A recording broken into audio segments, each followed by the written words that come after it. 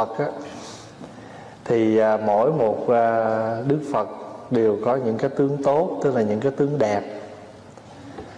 À, thưa đại chúng mà tướng đẹp á, một phần á, do ông bà cha mẹ.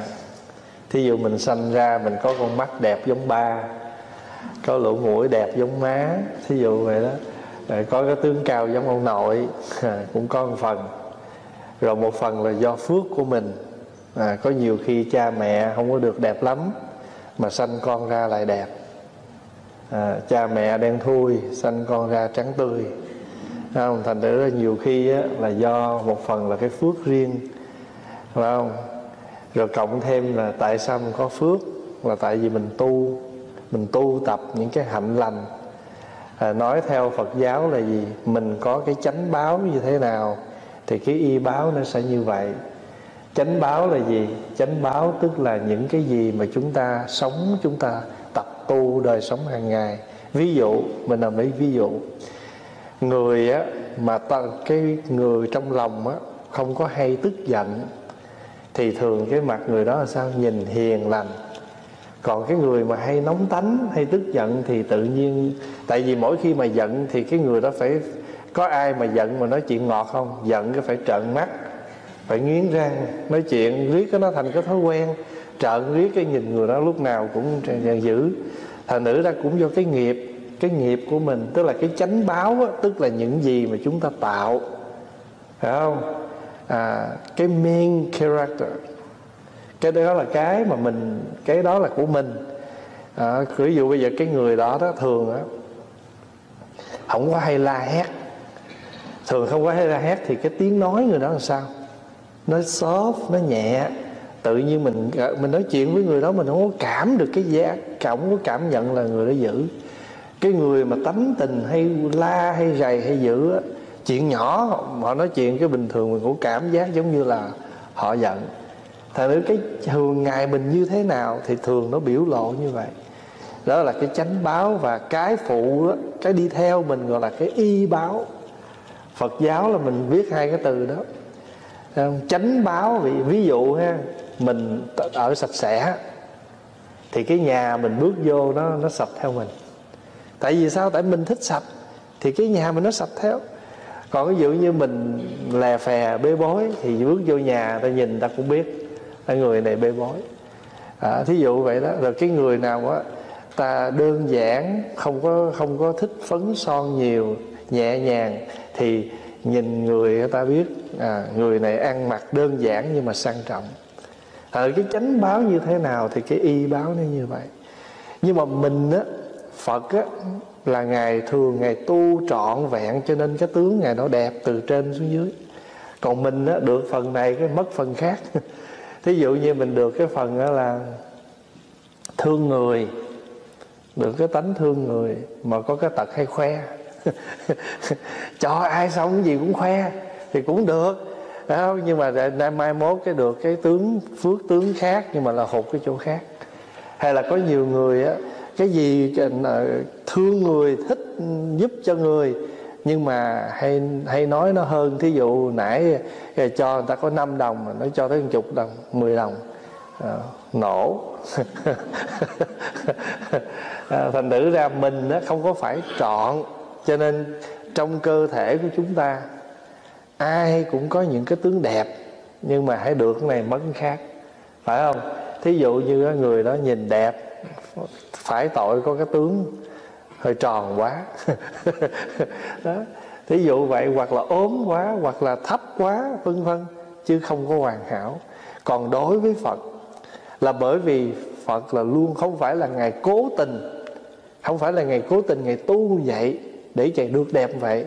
Nhưng mà tự ở nơi cái tâm của cái người đó thường xuất phát ra cái tánh tu. Rồi bây giờ phật thành tựu rồi trong kinh nó mới diễn tả là những cái đẹp của phật. Rồi nói được cái nguyên nhân nào được cái tướng đó. Thôi bây giờ mình nhìn phật cái mình nói ồ phật có cái tướng đó con thích cái tướng đó con phải ráng tu cái tướng đó. À, mà tại sao đạo phật á mà cái đẹp này là đẹp gì?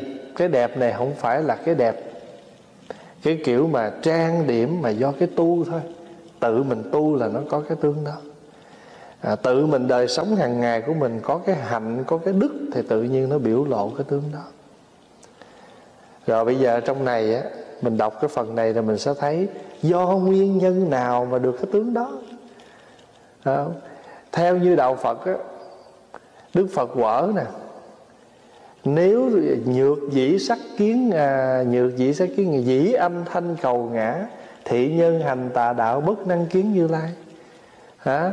Phật trong kinh kim cang nói nếu người nào lấy sắc tướng mà cầu ta lấy âm thanh mà cầu tôi tức là theo tôi là vì sắc tướng vì âm thanh thì người đó đang tu theo cái cái đạo tà đạo sai. Không bao giờ thấy được như lai. Thì tại sao đây lại nói là tướng đẹp? À, mình tự mình tu tự tâm mình phát khởi mình tu là có. Còn mình không có cầu gì hết. Mà không cần phải cầu gì hết. Tự mình phát tâm mình tu là tự nhiên cái việc đó nó có. Nhược dĩ sắc kiến ngã nếu người nào lấy cái cái cái sắc tướng mà cầu tôi lấy âm thanh mà cầu tôi thì người đó không bao giờ thấy được như lai thường thường á đại chúng nhớ là những sắc tướng như thế nào nó cũng đều là giả tạm hết. Không? cái người đó đó đẹp thiệt là đẹp. Nhưng mà cuối cùng thì da cũng nhăn mắt cũng mờ.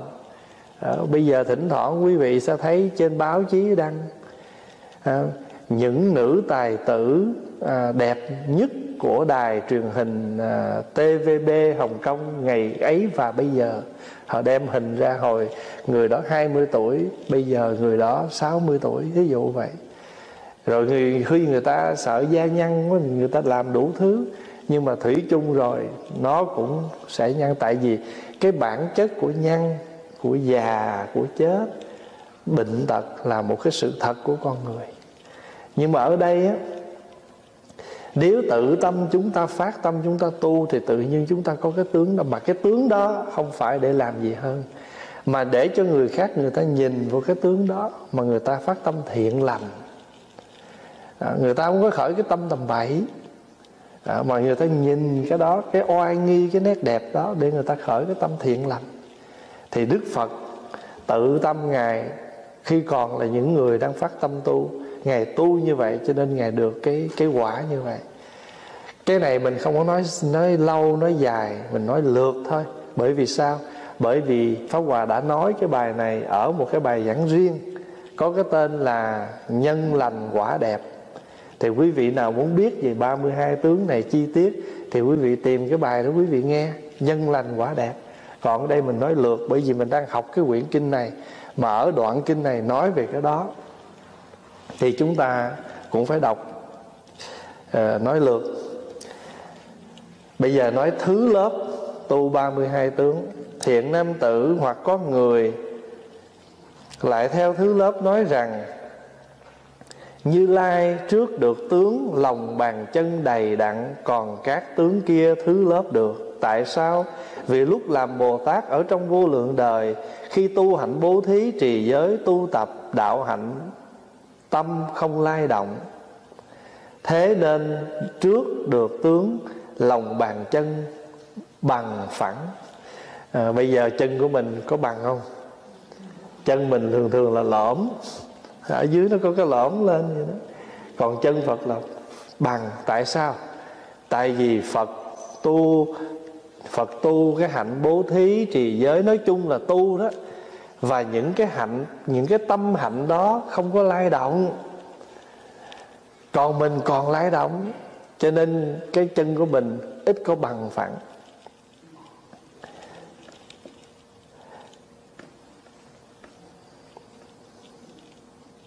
Bây giờ lòng bàn chân xoáy tròn như khu ốc Tại sao? Vì lúc tu hành Bồ Tát Đạo cúng dường cha mẹ sư trưởng bạn lành, Đúng như Pháp mà ủng hộ chúng sanh, Thế nên về sau được tướng trên, Bàn tay và chân đều có sấy tròn. Tức là ốc tròn. Giống như bàn tay mình Giờ mình nhìn mình cũng có ốc vậy. Sấy sấy sấy, chỉ tay mình nó sấy vậy đó. Mà thường mà ít có khi nào mình đều 10 ngón tròn lắm. Được đâu chừng hai, ba cái à người ta nhìn bằng chân ở bằng tay ta thấy ồ người này khéo tay lắm nè. À, cái xoáy nó tròn quý vị nhìn kỹ lát nhìn giờ lo nhìn em nè. Ờ, cái tay thường nó thường thường nó tròn hoặc nó lệch còn nếu mà nó tròn đều hết là tướng xoáy ốc tròn. Tại sao? Cúng dường như pháp. Cúng dường như pháp là sao? Trong này nói nè đúng như pháp mà ủng hộ chúng sanh đúng như pháp là sao? Người ta đói, mình cho người ta ăn. Người ta nghèo, mình giúp đỡ, nhưng mà không có thể nào ta nói, trời tôi đến bài thu hết trơn rồi. Nó vậy hả? Tội quá, thôi để cho à, cho tiền hay cho mượn để mình ta tiếp tục đánh bài nữa. Hiểu không? Hoặc là người ta làm những cái điều không có đúng phi pháp mà mình vẫn ủng hộ giúp người ta, cái đó là không có đúng pháp. Giống như người ta nói à, chợ tôi, tụi tôi đủ tay hết trơn rồi, mà thiếu cái chỗ à đem vô nhà cho người ta ngồi đánh bài, lấy tiền sâu đó. Rồi hai tướng rồi phải không? Ngón tay nhỏ mà dài, tại sao vì lúc tu hành bồ tát đạo chí tâm thọ trì giới ưu bà tắc thứ nhất và thứ tư, cho nên về sau được tướng ngón tay ngồi viết, có tướng ngón chân dài. Quý vị biết bằng ngón tay nhỏ mà dài là do tu. Tu và tắc giới là cái gì? Là giới gì? Tu và tắc giới là giới gì? Là năm giới đó. U bà tắc là ai? U bà tắc là tượng là các vị cư sĩ còn tại gia mà thọ năm giới, mà cái vị này tu mấy giới? Tu năm nhưng mà đặc biệt trong đó có hai giới là giới thứ nhất và giới thứ tư. Cho nên cái bàn tay, ngón chân đẹp. Vì lúc bồ, toàn thân đầy đặn, sao được tướng màn lưới giữa các ngón tay và ngón chân và tay? Vì sao? Vì lúc lòm, làm bồ tát dùng tứ nhiếp pháp để nhiếp thủ chúng sanh. Thế nên sao được tướng như thế? Tứ nhiếp pháp là gì? Bốn phương pháp để mà nhiếp phục người khác. Nhiếp phục là khuyến khích hay là hướng dẫn người ta. Trong đó là bố thí, ái ngữ, lợi hành, đồng sự. Bố thí là mình giúp đỡ người khác. Ái ngữ là mình phải nói những lời dễ thương, nhẹ nhàng. Lợi hành là thấy cái gì lợi cho người mình phải làm. Đồng sự nghĩa là mình hòa chung công việc với mọi người.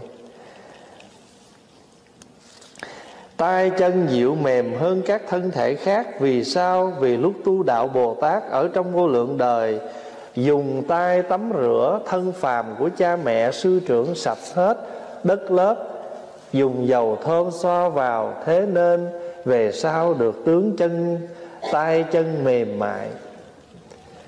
Người này thường hầu cha mẹ, phụng dưỡng cha mẹ. Thí dụ cha mẹ bệnh, mình à, không có gớm nhờm mình lấy tay của mình nhúng khăn lau chùi tắm rửa cho cha mẹ được cái phước như vậy đó cái sao mình được cái hướng à, ngón tay dài mềm Lông trên thân thể đều xoáy lên Vì sao? Vì lúc Bồ Tát Vì lúc làm Bồ Tát trong đời vô lượng đời Thường giáo hóa chúng sanh Khiến tu bố thí trì giới Và làm các pháp lành. Thế nên về sau được tướng lông đen nhỏ Mềm xoáy lên ngược lên. Đó là mình thường khuyến khích người khác Tu hạnh lành. Không có cản.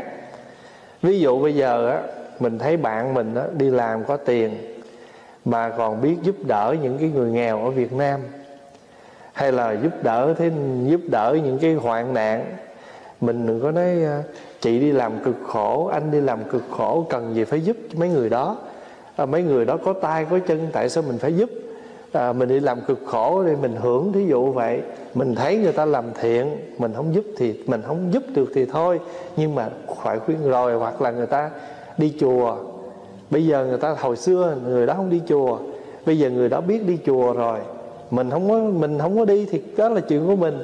Và mình đừng có nói đi làm gì à, à, à, trong chùa nhiều người giữ lắm đi làm chi? À, nếu mà người người người ta giữ mà người ta còn biết đi chùa thì cũng đỡ hơn phải không? Bây giờ mình vô mà nếu mình hiền mình vô đó biết đâu chừng mình mình giúp cho cái người giữ đó người ta hiền theo mình. Ờ, mình không làm được việc lành thì đừng có không có. Quý vị có nhớ câu chuyện và kể năm rồi trong khóa tu? Tại sao có một thầy đi vào tu? Mà thầy đó ra đời bảy lần. Ra đời rồi vô tu, ra đời rồi vô tu mà bảy lần như vậy. Tại vì cái thầy đó trong một đời trước tu chung với bạn của mình. Mà bạn mình mới khởi cái ý, sao tôi buồn quá, tôi chán quá, tôi muốn ra đời, tôi muốn tu nữa. Thay vì mình khuyên, thì cái thầy đó nói, thấy không? Tôi đã định nói với anh rồi anh ra đời sớm đi. Mà tới bữa nay ra là muộn rồi đó. Tức là không có khuyến khích cái người đó, mà còn suối biểu cái người đó tán đồng và khuyến khích nữa. Cho nên là mình mà mình mà mình mà dụ, mình mà nghe một cái người nào mà người ta sắp, người ta tâm sự với mình á ta nói người ta muốn ra đời đó, mình phải khuyên người ta tu. Còn nếu như mà người ta không tu nữa, đó là chuyện của người ta chứ không có khuyến khích không có nói ờ, tôi thấy cái chùa này không được đâu, anh đi ra đời đi. Tôi thấy đó thầy đó không được đâu. Thí dụ mình thấy cái thầy đó không được, không có đúng pháp thì mình nói thôi, giờ đi kiếm chỗ mình giúp đỡ cho người đó, tiếp tục tu nhưng mà tu ở chỗ khác còn hơn là khuyến người ta ra đời. Tại sao? Tại vì người sống ở đời thì vô lượng, chứ còn người mà phát tâm tu hành đâu phải dễ. Mà một người mình ta tu được, người ta làm được một chút ít việc gì tốt cho đời cũng là một cái điều hay nhưng phải khuyến khích kiếm một người đời thì dễ kiếm một người đạo khó lắm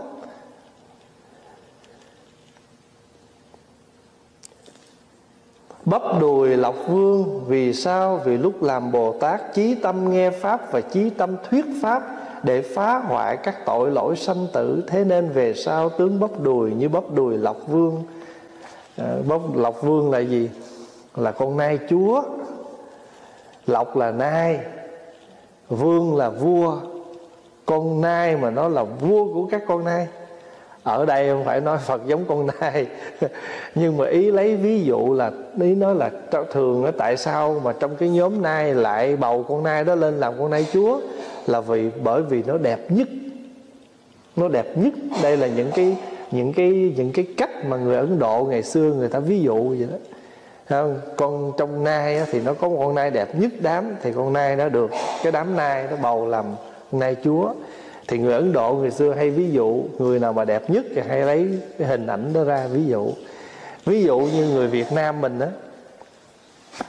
không người này việt nam mình cũng hay đem à, cây cỏ hay là hình ảnh con này kia ví dụ vậy đó. Mắt thì mắt bồ câu đó. À, chân mày thì chân mày lá liễu đó. À, mặt thì mặt trái xoan đó. À, thí dụ vậy đó môi thì môi trái tim đó. À, thì người ấn độ ngày xưa ta cũng có những cái cách người ta ví dụ cái đẹp của người đó. Người trung hoa mà người nào đẹp quá nói trời ơi người đó chim sa cá lặn. À, biết chim sa cá lặn không? Hãy đẹp đến mức độ mà cái người đó xuất hiện á là con chim á. Nó đang đậu á nó phải làm sao? Nó rớt.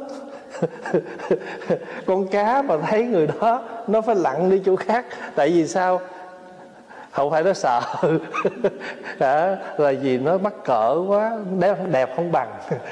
À, con cá lặn đi chỗ khác còn con chim đang đậu thì phải phải rơi xuống gọi là chim xa cá lặn. À, rồi mình đem ví dụ gì sao? À, à, vì à, à, tuyết á cái cái cái đẹp của mình đó, nó trắng còn hơn tuyết mà mà trong chuyện kiều có một câu là tuyết nhường màu da. Thường thường ta nói người đó trắng như tuyết phải không? Vậy mà cô thúy kiều à, thúy vân đẹp. Đẹp mà đẹp làm sao? Đẹp trắng đến độ là tuyết nó còn phải thua nữa. tuyết nhường màu da mà nói ra, người ta nói cái đẹp làm sao? Trời ghen ờ, hoa ghen, thua thấm liễu hờn, kém xanh. À, hoa là mà nó, hoa thường thường nó đẹp rồi, phải không? Vậy mà giờ nó phải ganh với cái nét đẹp của thúy kiều. Hoa ghen, thua thấm liễu hờn, kém xanh. Đó là những cái cách ví dụ. Cho người ấn độ ngày xưa họ, đó là một cách ví dụ. Ví dụ như họ nói trong kinh nói con sư tử thường thường cái tướng đi con sư tử là đi từng bước. Sư tử không có đi nhanh, sư tử đi chậm. Nhưng mà chính cái bước chân oai hùng của con sư tử làm cho những con sư, con thú khác ở trong rừng á, nó sợ. Cho nên người ta hay nói đức phật đi như tượng vương đi như là con con con con con con voi chúa, con sư tử chúa à, còn phật ngồi oai hùng như con sư tử. Thí dụ vậy. Phật nằm cái dáng nằm oai hùng. Cái chữ oai hùng đây không phải là là là làm cho người khác sợ mà đây là ma nó sợ. Vì lúc làm bồ tát chí tâm nghe pháp tại sao được như vậy? Bởi vì lúc làm bồ tát chí tâm nghe pháp và chí tâm thuyết pháp để phá hoại các tội lỗi sanh tử nghe pháp phải chí tâm mà thuyết pháp thì phải chí tâm. Cho nên nghe pháp đừng có nói chuyện. À, nghe pháp không có rù rì. Nghe pháp là mình ngồi nghe mình chú tâm để mình tiếp nhận. Cho nên được cái thân hình như vậy. À, tướng thân hình tròn trịa như cây ni câu đà. Vì sao? Vì lúc làm bồ tát trong vô lượng đời thường thí thuốc cho tất cả chúng sanh có bệnh thế nên về sau được tướng thân hình tròn trịa. Cây ni câu đà là bên ấn độ cái cây này nó thẳng tắp.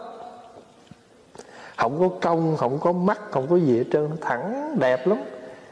À, cho nên người ấn độ dùng cái cây này để ví dụ cho một cái người mà có cái tướng thẳng thớm. Tại sao được cái tướng này? Tại vì hay cho người ta thuốc uống. Chứ không phải cho ta thuốc chích. Cho ta thấy ta bệnh mình cho người ta thuốc. Nhưng mà nhớ là phải phải hỏi cho kỹ nha. Hồi xưa thì uống thuốc gì cũng được. Bây giờ mà cho bậy là không được á. Đừng nghe vậy rồi cái thấy ai bệnh cũng đưa thuốc này uống đi. Người ta có hạ ta hết bệnh thôi. Mà ta không có bệnh ta thưa cánh tay dài quá gối, vì sao?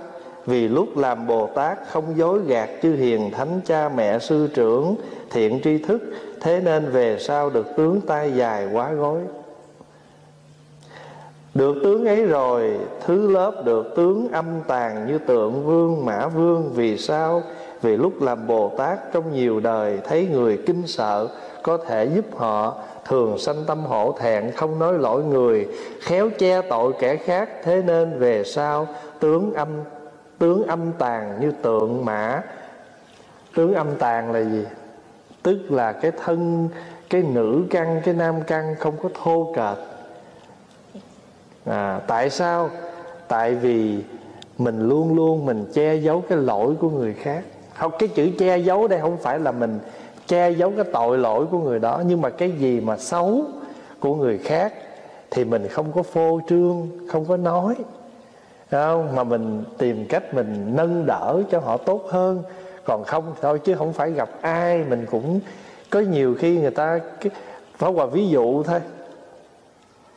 Ví dụ như à, cái người đó à, có một cái tật à, có một cái lỗi là à, đi vào trong chúng à, hay à, lên ngồi ăn cơm chung. Mà cái người đó có cái tật ăn xấu lắm.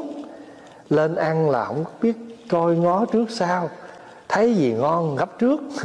Thí dụ vậy đi. Mình gặp ai mà nói trời ơi ăn với cái người này nha phải cẩn thận á. Lên ngồi ăn lại gì ngon gấp trước không cần coi ngó ai đâu. Thí dụ vậy tức là mình phô cái cái cái mặc dù cái đó không phải cái tội thấy không cái lỗi là cái lỗi sơ ý của người này. Sống thiếu cái tế nhị. Thì mình không có nên đi phô bày những cái lỗi của người ta. À, hoặc là thí dụ như là hôm đó người đó lên đứng trước đại chúng người ta nói cái gì nó lỡ lời mình cũng không có nên lặp đi lặp lại à, để mà đi nói cái lỗi của người đó mà mình phải che giấu.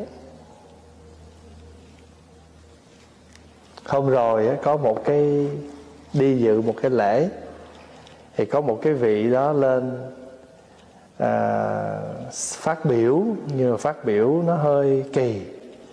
Lời lẽ nó thô nó không được nhẹ nhàng mà nó làm cho nhiều người khó chịu thì sau khi đi về tới nhà đó thì pháp hòa email cho vị trưởng ban tổ chức. Thì pháp hòa mới nói là nếu có làm cái cuồng băng đó đó thì nên cắt những cái đoạn đó đi. Vì cái vị đó phát biểu hôm đó ai cũng ngồi đó cũng cảm thấy không có thoải mái. Mà mình cũng không có muốn cái hình ảnh như vậy. À, có thể cái vị đó lúc đó à, không có không có không có giữ được cái cái cái nghĩ là muốn phát biểu nhưng mà không biết ở một cái tình huống nào để phát biểu. Cho nên thôi cắt đi đừng có để để cho cái lễ của mình nó nó, nó đẹp. Mà sau này nhiều người coi nó sẽ không có hay. Thì Pháp Hòa cũng nói với quý vị trong ban tổ chức là nên làm cái cuộn băng đó cho nó đẹp lại. Thì cái vị đó mới trả lời là cái mail. Nói là con không có ngờ là à, thầy à, để ý đến mấy cái việc như vậy mà con cũng không nghĩ tới. Và lâu nay con thường học trong luật giới cũng thường nghe cái câu là chúng trung hữu thất nghi đương ẩn ác dương thiện. Quý vị nghe câu đó trong luật giới có dạy đó. Nếu lỡ trong chúng ai có làm cái gì sơ thất chúng ta phải nên tìm cách bao bọc, nâng đỡ, chở che cho người đó mà không nên phô bày. Thí dụ vậy, lâu nay con học câu đó mà không con biết phải ứng dụng ở trường hợp nào, mà hôm nay thầy nói cái email này nó đã chỉ cho con được cái cách thực tế làm sao để được học và ứng dụng được cái câu là trong chúng có sơ thất oai nghi, phải ẩn cái ác, hiện cái lành trúng chung hữu thất nghi, đương ẩn ác, dương thiện. Chữ dương là mình đưa lên cao.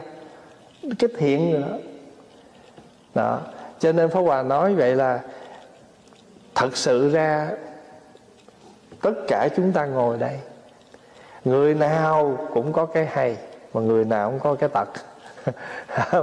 Mà nếu mà muốn đi đi phô trương cái tật của mỗi người á, ngày nào cũng có chuyện để nói nhưng mà nếu chúng ta muốn nói cái đẹp cái hay của người nào á cũng rất nhiều chuyện để nói. Mà thường thường mình ít có nhớ mấy cái đó. Cái gì mà cái dở người ta cái mình đem ra mình làm cái gì? Tiếng anh nó kêu là make fun đó. Tức là mình làm trò mình cười mình vui vậy đó. Mà cũng không nên. Ừ. Hồi đó có hòa có một hòa thượng ngày dạy mỗi lần mà thấy uh, uh, súng lại mà mà make fun một cái vị nào đó là hòa thượng rầy đó hòa thượng nói người ta vậy mà mấy đứa không có thương. Thí dụ có người người ta hay liệu đó tuyệt đối không có được chọc người liệu. Ví dụ cái bà cái cô đó nó cổ đụng tới cổ cái cổ hay liệu mà liệu bậy liệu bạ đó. Thưa đại chúng có một vị gần đây á, tâm sự với pháp hòa là bây giờ cái vị đó đang mắc cái quả báo đó. Là vì ngày xưa trong xóm á, có một người liệu mà hay nói bậy. Thì cái vị này là hay đi tới chọc làm cho cái người đó liệu mà lưu bảy lưu bả cả ngày thì bây giờ cái vị đó bị. Vừa rồi phone pháp hòa nó là tâm sự nó trời bây giờ con thấy cái nhân quả rõ ràng hồi đó con chọc cái vị đó làm sao là bây giờ con y chang như vậy. Đó. Thành thử ra mình á, thấy cái người mà người ta bị một cái bệnh mà người ta liệu như vậy không có nên chọc. Rồi có nhiều người người ta có cái bệnh là sợ. Cái mình hay núp trong ở trong cửa hù dọa người ta không nên tại vì sao? Vì người ta sợ. Phải không? Mà cái hạt giống sợ hãi trong người ta, mà mình cứ hù dọa người ta vậy rồi mai mốt mình sanh ra. Có bệnh tim. Hay dọa người khác đau tim.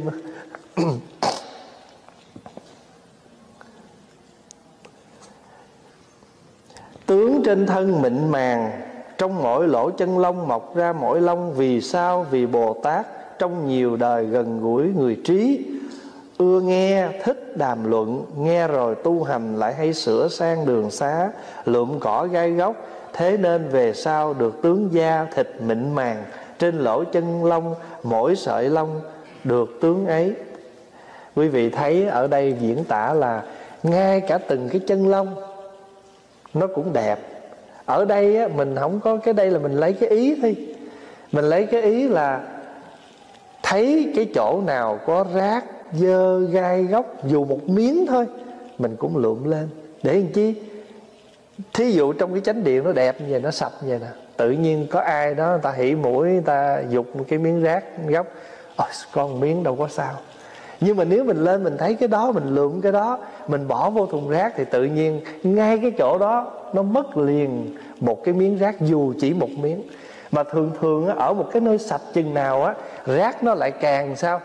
Nó càng lộ ra chừng ấy nữa. Mà nếu mình chịu khó mình cất cái đó cái nó xong. Đó. Thì dù được một chút vậy thì cơ thể mình cũng vậy. Không phải đẹp ở những cái cái như mắt tai mũi. Và ngay cả một lỗ chân lông nó cũng đẹp. Là tại vì hàng ngày mình siêng năng chăm sóc cái gì dù nó thật nhỏ. Phá Hòa ví dụ vậy nè. Ví dụ như khi mà mình múc ra một cái chén cháo, chén canh cho ai đó.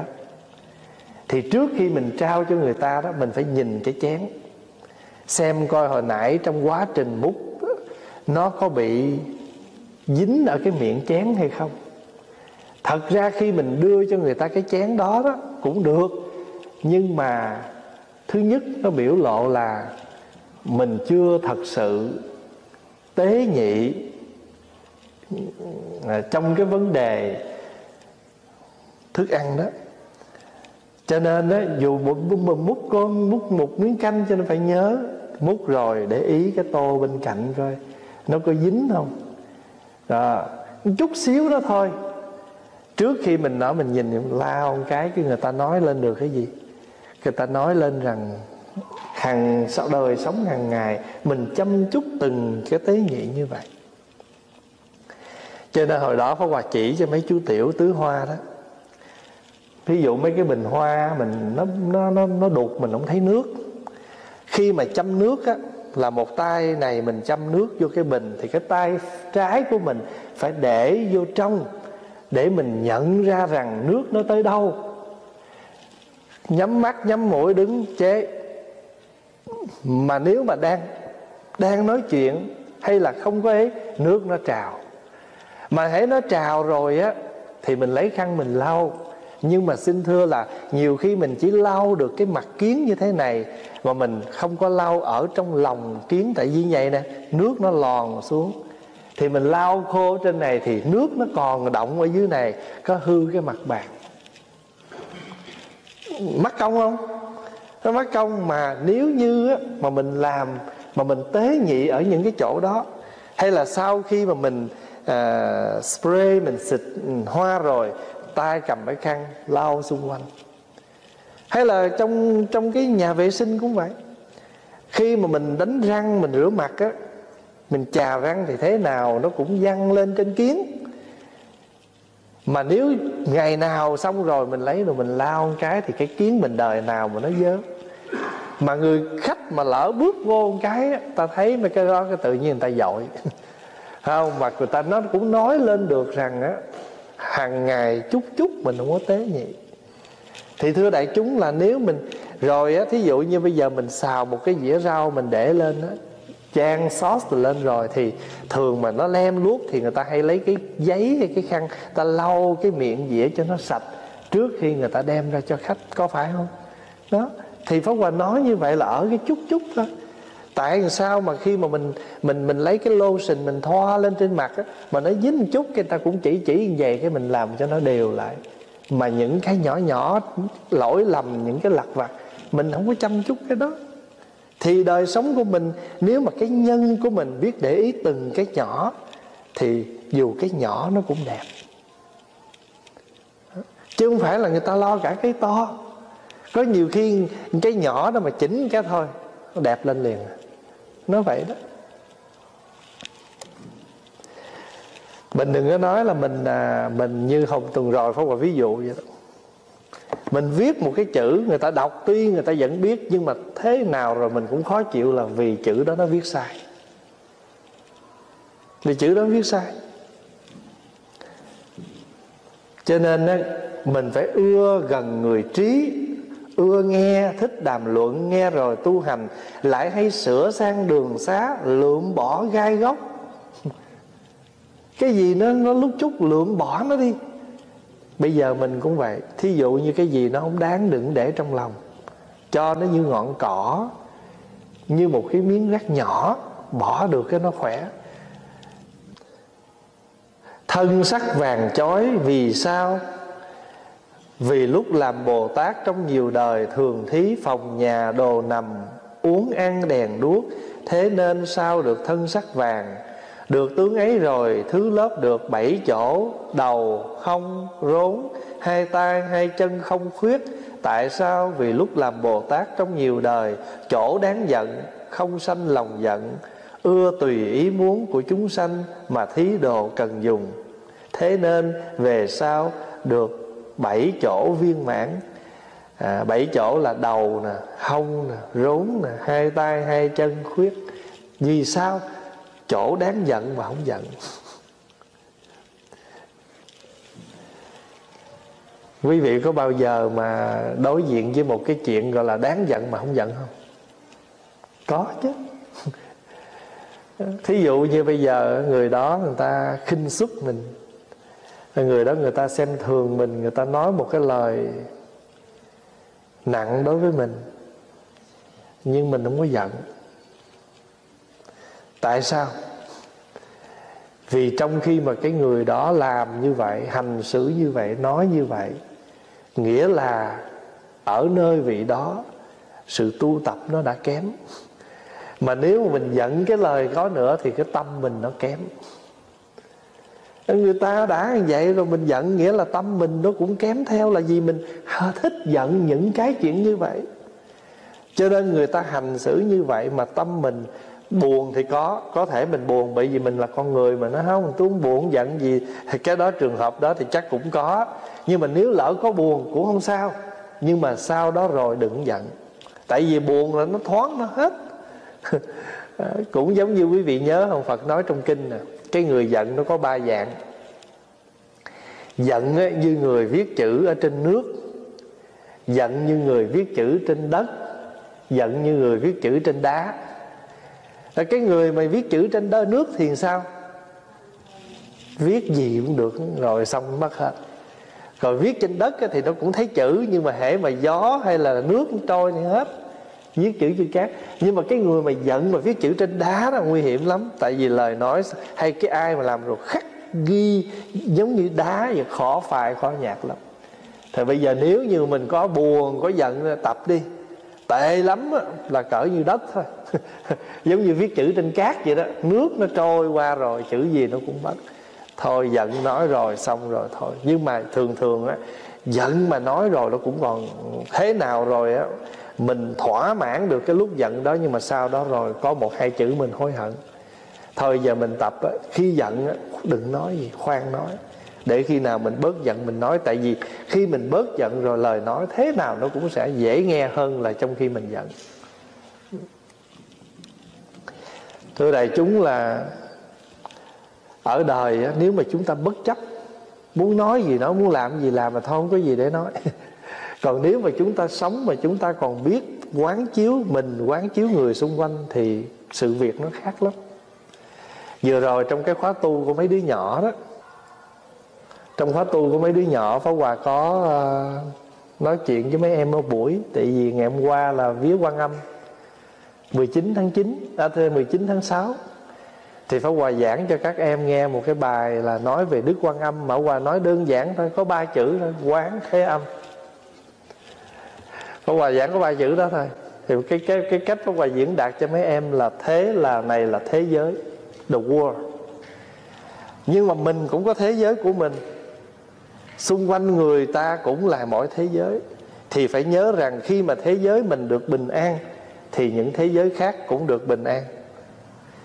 Ví dụ như nước mỹ bị à, bị khủng bố thế giới mỹ bị khủng bố thì tự nhiên các thế giới khác cũng sao?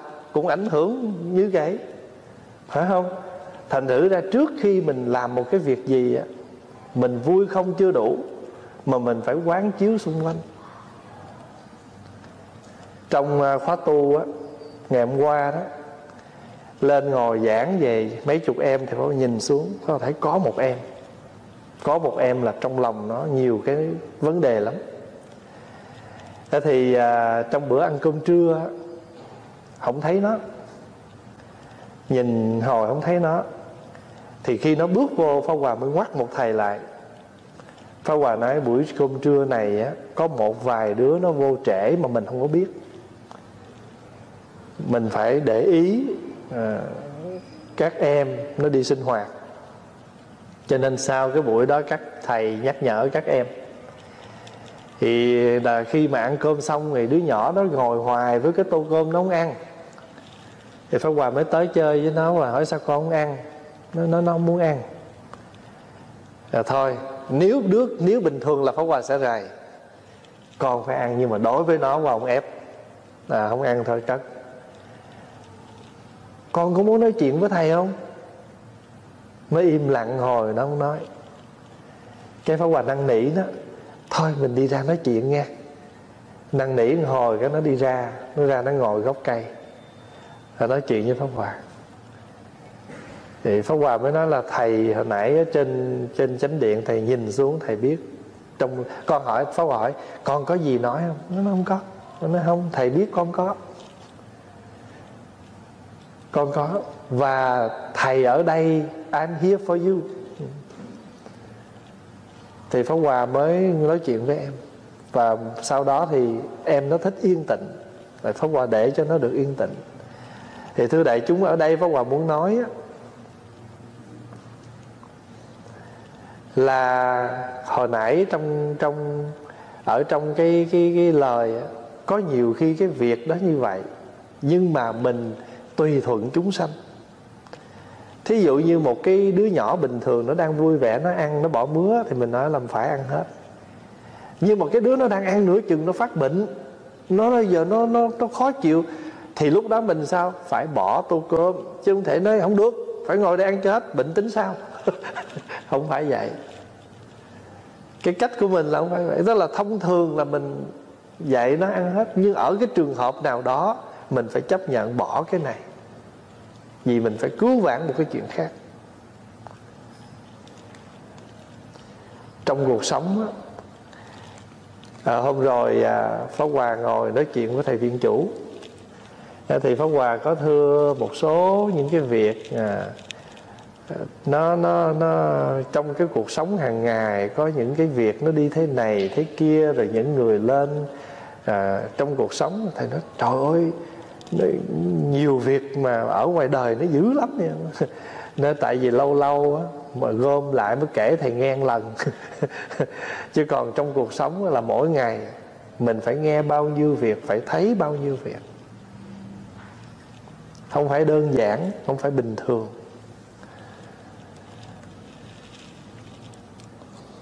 Những chỗ khớp xương đều lành lặn viên mãn vì sao? Vì lúc làm bồ tát trong nhiều đời khéo phân biệt những tướng lành hay dữ. Lời nói không sai lầm, không nói lời vô ích. Những pháp đáng thọ trì thì miệng thường giảng nói, còn pháp không đáng thọ trì thì không dối nói ra. Thế nên về sau được tướng những khớp xương không trủy khuyết, được tướng như thế. Ta ở đây nói là những cái khớp xương một thân cao, hai tướng mà là một thân cao, hai là tròn má. Đều như hình sư tử, tại sao? Vì lúc làm bồ tát trong nhiều đời, chính mình không nói hai lưỡi, cũng không dạy người khác nói. Thế nên về sau được tướng, được hai tướng như vậy, tức là tướng gì? Tướng thân cao và má tròn. Là do mình tu là không có nói lưỡi hai chiều. Nói lưỡi hai chiều là cái gì? Mình tới đầu này mình nói theo đầu này mình tới đầu kia mình nói theo đầu kia. Hồi chiều mình mới nói chuyện với cái chị đó. Chị đó tâm sự với mình cái nỗi buồn của chị đó với chị kia. Chiều tới mình đi chỗ khác mình gặp cái chị kia mình nói trời ơi hồi chiều đó, tôi ngồi tôi nói chuyện với chị nọ. Chị nọ nói chị quá trời quá đất luôn. Thế nào khuya đó gia đình ta cũng có trọng trận. Không? Là không nên. Ba tướng à, mình có được ba tướng là 40 cái răng. Tướng răng trong trắng bằng nhau và kín đáo. Tại sao? Vì lúc làm bồ tát trong nhiều đời dùng mười pháp lành giáo hóa chúng sanh. Chúng sanh thọ rồi tâm sanh hoan hỷ thường hay khen ngợi công đức của người khác. Thế nên về sau được ba tướng như thế. Ba tướng là gì? Một là đủ 40 cái răng. Hai là răng trắng ba là kính đáo, đều đặn. Tại vì mình thường dạy cho người ta tu 10 điều lành. 10 điều lành là gì? Về thân thì có ba điều. Không sát sanh, không trộm cắp, không tà hạnh. Về miệng thì có bốn điều. Không nói dối, không nói lưỡi hai chiều, không nói lời thô ác, không nói lời vô ích là bốn. Ý có ba điều, đó là tham sân si. Pháp Hòa thí dụ thế nào là vô ích?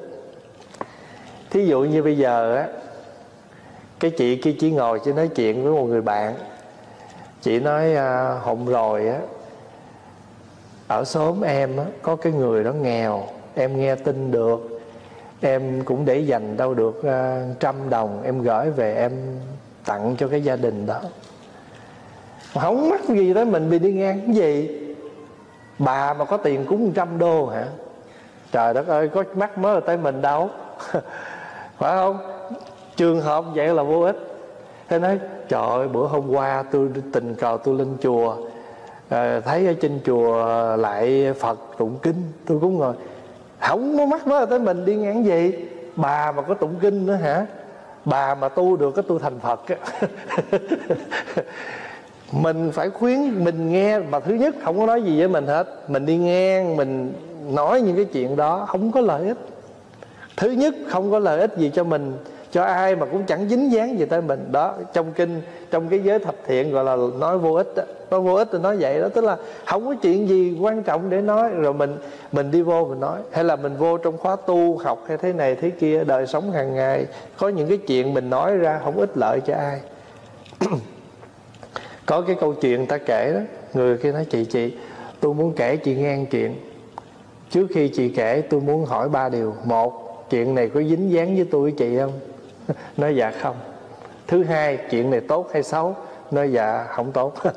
Thứ ba, chị chích ta chị nghe nghe người ta nói là, ô, tôi nghe người ta nói rồi. Căn cứ trên ba điều này dạ thôi, khỏi nghe. Thứ nhất, không dính dáng tới tôi với chị. Thứ hai, đây là điều nói không tốt, điều xấu. Điều thứ ba, không phải chính tay chị nghe và chính mắt chị thấy, chị cũng nghe nói lại thôi. Thì thôi, khoan điều này nó không có liên hệ.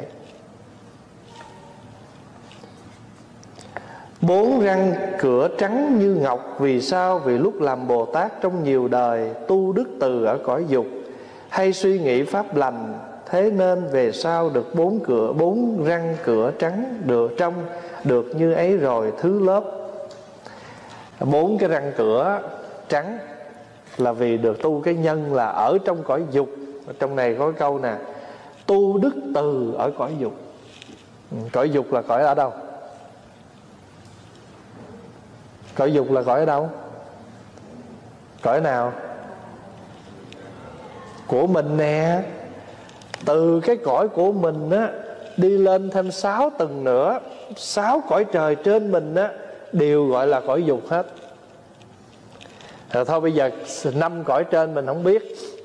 Giờ nói cõi của mình nè tiếng anh dịch là the world of desires. Cõi dục là cõi ham muốn. Mà trong cõi đời này á, con người mình là không ngày nào mà không có ham muốn. Nhưng mà chúng ta tu cái đức từ ở trong cõi dục là gì? Có những chúng sanh người ta ham muốn, thì chúng ta khởi lòng thương nếu họ thấy cái sự ham muốn của họ rất là sai quấy. Còn nếu người nào mà ham muốn tốt lành thì chúng ta lại nâng đỡ. Thí dụ, quý vị thấy ở trong cái cõi dục này à, nhiều người ngày nào người ta cũng có những cái cái nhu cầu. Cõi dục là gì? Dục là ham muốn thôi có những người ham muốn xấu có những người ham muốn tốt. Và mình thấy người ta ham tu mình phải nâng đỡ. Mà mình thấy người ta bệnh quá trời mà vẫn chưa chịu tu mà còn ham. Có nhiều người bệnh quá trời quá đất nhưng mà khỏe khỏe cái đi casino. À, rồi bệnh quá nằm đó cái con cái tới thăm thấy tội quá mỗi đứa chặn cho má năm chục để dành uống thuốc à, ba chục để dành à, à, uống thuốc gom ba chục năm chục cái để dành lại cái khỏe khỏe cái đi casino. Đó cái cũng có dục mà mình thấy vậy mình tội nghiệp. Rồi mình thấy cái người người ta ham tu mình nâng đỡ. Cho quý vị thấy không? Tại sao mà nhiều khi á thấy mấy thầy mấy chú mới có ờ, hè nào mà bắt đầu khóa tu là bắt đầu cũng cực. Là tại vì bây giờ phải hòa giao cho mấy thầy phải lo thì phải thầy phải lo thì phải lo chơi với đứa này lo với đứa kia. Rồi uh, tu uh, tu thì tu ba ngày phải có ngày chơi. Đó. Nó đức từ ở trong cõi dục.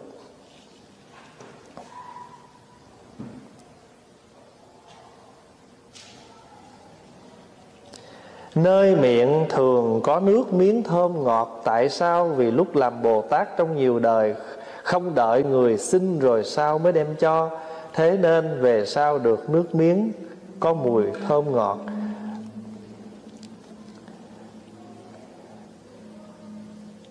Tướng nhục kế và tướng lưỡi rộng dài, Tại sao? Vì lúc làm Bồ Tát trong nhiều đời, Chính mình không nói lời ác, Cũng không dạy người khác nói ác. Nhục kế là đây nè, Cái đỉnh này nè, Cái đỉnh trên đầu mình đó Có cái nhục kế cao đẹp á.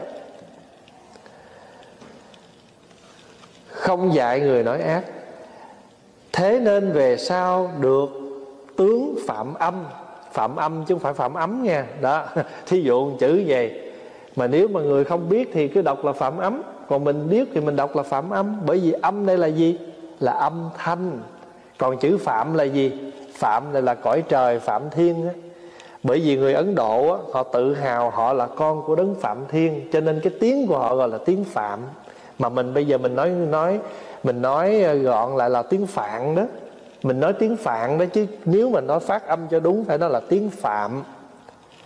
À, tại tiếng phạm là gì? Vì người ấn độ họ cho cái tiếng của họ là tiếng của cõi trời phạm âm.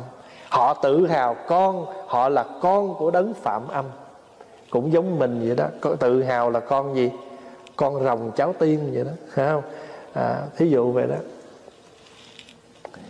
được tướng ấy rồi, thứ lớp được con mắt trong xanh như mắt ngư vương. Hôm trước mình có nói đó, tại sao? Vì lúc làm bồ tát trong nhiều đời, dùng con mắt bình đẳng, từ hòa, xem kẻ oán người thân, thế nên về sau được tướng ấy. Tức là mình nhìn mọi người không có cái, không có con mắt phân biệt. Ví dụ á, ai mà người ta vào chùa, ta lễ phật thì mình cũng đều xem mọi người là bình đẳng. Chứ không phải mình thấy người đó quen cái mình chạy thì mình tiếp. Không quen thôi kệ rồi đi. Không phải vậy. Vì lúc bồ làm bồ tát dùng con mắt bình đẳng coi kẻ oán người thân như nhau được tướng ấy rồi Thứ được tướng bạch hào. Vì sao? Vì lúc làm Bồ Tát Trong nhiều đời giảng nói chánh pháp Chân thật không hư dối. Tướng bạch hào tức là có cái cái lông trắng ở chặng mài đây Thường là có Phật có. Vì lúc làm Bồ Tát Trong nhiều đời giảng nói chánh pháp Vô kiến đảnh. Tại sao? Vì lúc làm Bồ Tát. À, Trong này ghi là Bồ Tát đó.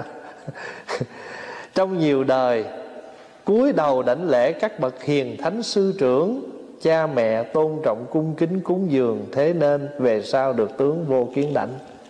À, tại sao vậy? Vô kiến đó là cái tướng không thể thấy. Tại vì mình hay lấy cái đầu của mình cung kính người khác. Thí dụ mình gặp người khác mình cung kính. Cho nên pháp hòa thưa với đại chúng á mình gặp một cái người đồng tu với nhau hay là chư tăng, chư ni, chắp tay xá chào. Dù thân thiết cỡ nào, nhưng mà lần đầu tiên mình bước tới, thí dụ phật tử đi chùa cũng vậy? Bước vô cái gặp quý thầy hàng ngày mình gặp quý thầy, nhưng mà giữ cái lễ, để đồ đạc xuống rồi cầm. Hôm rồi có cái chị đó, chị cầm đôi dép, chị xuống chị để cái pháo quả, đâu đi tới cái chị cầm nguyên đôi dép chị xá ngày hôm qua có một đứa nó mới vô khóa tu á. Cái nó bước vô cửa nó đang cầm cái chai nước mà cái chai nó bự vậy nè. Cái phong hòa mới ngoắt nó lại qua nói con lại chào mấy thầy con. Mà nó nó người hoa nó người tàu nó không biết tiếng việt. Cái nó lợi cái nó, nó, nó tới nó gặp quý thầy cái nó nó muốn chào nó không biết sao. Nó tại tay nó cầm chai nướng kẹp ngay hai chân nó. Ờ, để nó kẹp cái chân ngay hai cái cái cái cái cái, cái gì cái bình nước ngay chân nó hai chân nó rồi nó mới có cái tay nó cầm quý thầy quý thầy đáp lễ mà quý thầy tức cười. Thì qua đó là khi mình, thường thường mình gặp cái mình hốt hoảng vậy đó, mình biết làm gì. Rồi có nhiều khi mình gặp quý thầy cái, hai thầy, không, hay là sơ sơ, nhưng mà mình tập tập có cái tâm cung kính đối với bạn đạo, đối với chư tăng. Đó. cho nên vừa rồi đó Pháp Hòa có nói với quý cô, quý chú như vậy, tất cả chư tăng, chư ni nào trong đời này mình được gặp thì mình cứ mình cứ phát tâm, mình gieo duyên, chăm sóc. Thì tại sao, vì đời nào, kiếp nào mình cũng được gặp những cái hình ảnh của tăng để nhắc nhở mình? Bản chất, bản thân cái vị đó có tu không tu mình không có biết. Tại ai tu thì nấy biết chứ, phải không? Nhưng mà tự tâm của mình phải khởi lòng cung kính, chăm sóc. Cho chư tăng, đời nào mình cũng không có mất cái duyên đó đó, quý vị thấy có nhiều người ở đời này gặp hình ảnh của chư tăng một lần mà được đi tu. Chẳng hạn như thái tử sĩ đạt ta, tức là đức phật của mình đó. Đi dạo bốn cửa thành, thấy người già, người bệnh, người chết. Đến cái cửa thứ tư, ngài gặp một người tu. Ngài mới hỏi cái người đó là ai vậy? Thì người hầu sa nặc mới nói dạ thưa thái tử, người đó là sa môn. Ấn độ gọi là sa môn. Hỏi sa môn là gì? Sa môn là những người từ bỏ hết những cuộc đời xa hoa bình thường và trở lại họ sống một cuộc đời giản dị, trao dồi sự tu hành. Tôi có được làm sa môn không? Dạ ai cũng có thể được. Và từ đó, thái tử sĩ đạt ta nuôi cái hình ảnh đẹp của vị sa môn đó trong đầu. Đa số các thầy mà đi tu là nhờ đi chùa gặp hình ảnh của chư tăng mà phát tâm tu hồi nhỏ đó, pháp hòa nhờ ông ngoại mất. Rồi mới mời một thầy đó đến tụng kinh. Mà thầy đó đó, thầy tụng bằng tiếng phạn. Nghe cái âm tụng kinh tiếng phạn thích quá đi, rồi nuôi cái hình ảnh đó. Rồi sau lớn lên được chút xíu nữa, rồi đi chợ thấy các sư ôm bình bát, đi khất thực ở ở bên đường cái hình ảnh nó đẹp. Rồi thấy các thầy mặc cái y cái hậu á, vàng cái tay rộng thích lắm. Thậm chí đến mức độ là về nhà lấy hai cái ống quần chọt vô tay cầm phất phất vậy. Mê cái áo đến nứt như vậy. Cho nên hồi nhỏ mà đi tu nói ngày nào mà tôi được mặc cái áo tôi phải mai cho thiết là ra rộng dài để mặc thích. Rồi thấy mấy thầy mà ta mặc cái áo tay rộng nó thích quá đi rồi về, mình đâu có cái áo tay rộng đó mặc đâu, thì chỉ có cái quần. Lấy cái quần pyjama, chọt hai cánh tay vô rồi đứng cầm quơ quơ vậy nè, biểu tượng mình có cái tay áo rộng đẹp cho nên cái hình ảnh đó, cái hình ảnh của tăng. Cho nên đời này như vậy. Gặp chư tăng. Và dưới lầu mình đã có ờ, có thầy người miến điện đó. Thầy còn ở dưới phải không? Ừ. Pháp Hòa gặp thầy ở Regina hôm rồi ờ, trong cái dịp lễ Phật đản quốc tế. Rồi thầy mới ờ, xin email, rồi vừa rồi thầy email tới, thầy nói, tôi có cái lễ ở trên này cho người miến điện cuối tuần này. Tôi về chùa thầy tôi ngủ được không? Nó nói dạ được. Rồi bây giờ đó, mỗi mỗi tháng đó, cái tuần lễ thứ ba là mình có nhóm Phật giáo Hàn Quốc á, tới để sử dụng sinh hoạt rồi quý vị nói là tôi phải trả tiền sao? Nói dạ không tùy hỷ quý vị cúng dường. Có cũng không có thôi. Pháp hòa thương là sao? Toàn là cư sĩ phật tử không à. Họ xa quê hương họ rồi. Họ không có một vị thầy người hàn quốc hướng dẫn. Rồi mỗi tuần họ không có chỗ sinh hoạt. Quý vị biết là họ làm sao họ lấy cái tivi họ bắt ở đây nè. Rồi họ mở cái dvd cái laptop á, mở lên thầy ở trong đó tụng kinh họ ngoài này họ tụng theo đó. Mình bây giờ được thầy ra hướng dẫn được thầy hướng dẫn tụng kinh được thầy hướng dẫn à, pháp thoại cho mình. Mà mình còn không có chịu khó mình đi rồi mất cái duyên. Đấy, cho nên Pháp Hòa thương các vị đó. Các vị đó là một những người cư sĩ Mà người ta còn tha thiết với với với đạo như vậy. Mà tại sao mình không trợ duyên? Tại sao mình không giúp? Cho nên Hòa mới nói là Các thầy là cứ mỗi thứ mỗi chủ nhật Cho họ tới họ sinh hoạt. Ngày hôm tuần rồi đó, Họ tới họ sinh hoạt Rồi mình lo lu bu quên để ý họ, Pháp Hòa xuống và lo cho họ. Pháp Hòa bắt bàn rồi họ để không không có cái khăn trải bàn nữa. Pháp Hòa bắt bàn, Pháp Hòa đi lau, Pháp Hòa trải khăn lại cho người ta. Mình cho người ta mượn, Nhưng mà mình để tâm chăm sóc. Chứ không phải nói kệ họ Họ muốn làm gì làm. Sao được vậy? Rồi mai mốt mình đi tới đâu Người ta cũng dục cho mình chén cơm này Ăn đi, ăn giọng gì đi chỗ khác đi. Phải không? Mình không có để cái tâm mình cho người ta mượn cái chỗ mà phải để cái tâm cho người ta dù tới rồi quét bàn học nếu mình không có mặt thôi. Nhưng mình có mặt mình là những người cái chùa này như của mình đi tạm thời mình nói người việt là của mình đi. Đó rồi mình tới mình thấy à cái chai đường nó dơ quá mình ta sử dụng lau quét cho nó sạch. Sắp ghế là hôm qua tuần rồi ai thấy cái chuyện đó, đó rồi không phải qua nói là Pháp Hòa nhắc về để đại chúng nhớ là Cái gì gọi là mình kết duyên. Mình không có kết duyên với người ta Thí dụ Phật tử ở các nơi tới cũng vậy Mình phải chăm sóc người ta. Chứ không phải là mình bỏ lơ người ta Cái chỗ ăn, chỗ ngủ Mình phải lo. Rồi mình gieo cái duyên đó Rồi mai mốt mình lỡ mình đi tới Mình đi chùa người khác Người ta cũng chăm sóc mình vậy. Ờ, Mình đi tới cái ta nói Đó có cái chỗ đó đó Ngủ đi. Trời sao không quan tâm gì hết trơn? Vậy mình chứ có quan tâm tới ai đâu. Phải không? Cho nên cuộc sống ở đời Người ta cũng vậy Huống chi mình là đạo. Mình đạo mình còn phải hơn nữa.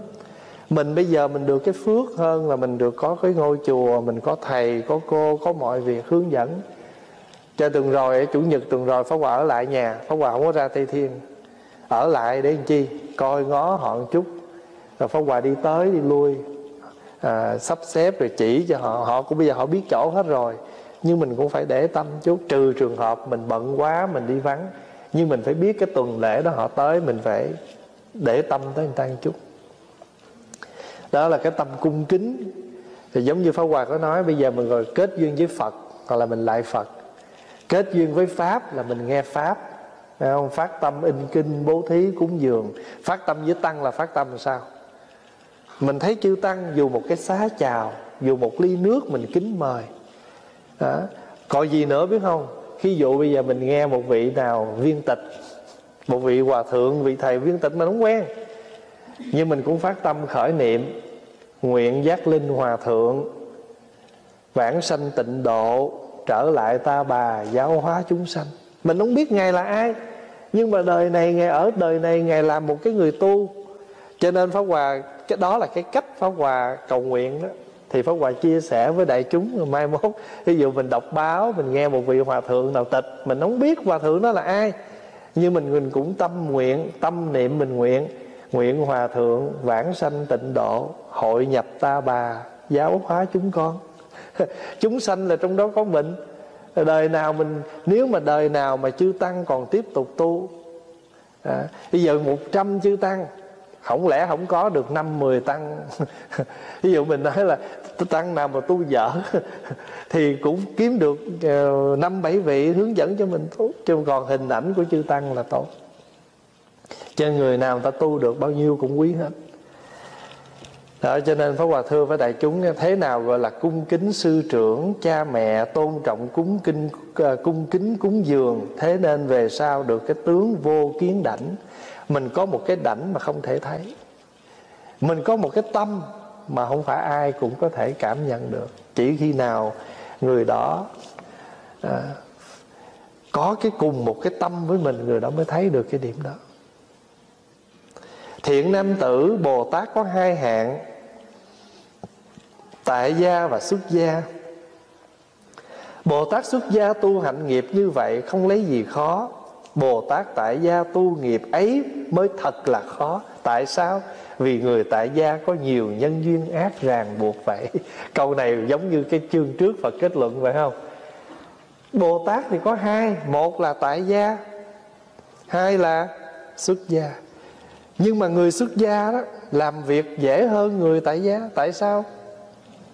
Vì mình còn nhiều cái ràng buộc.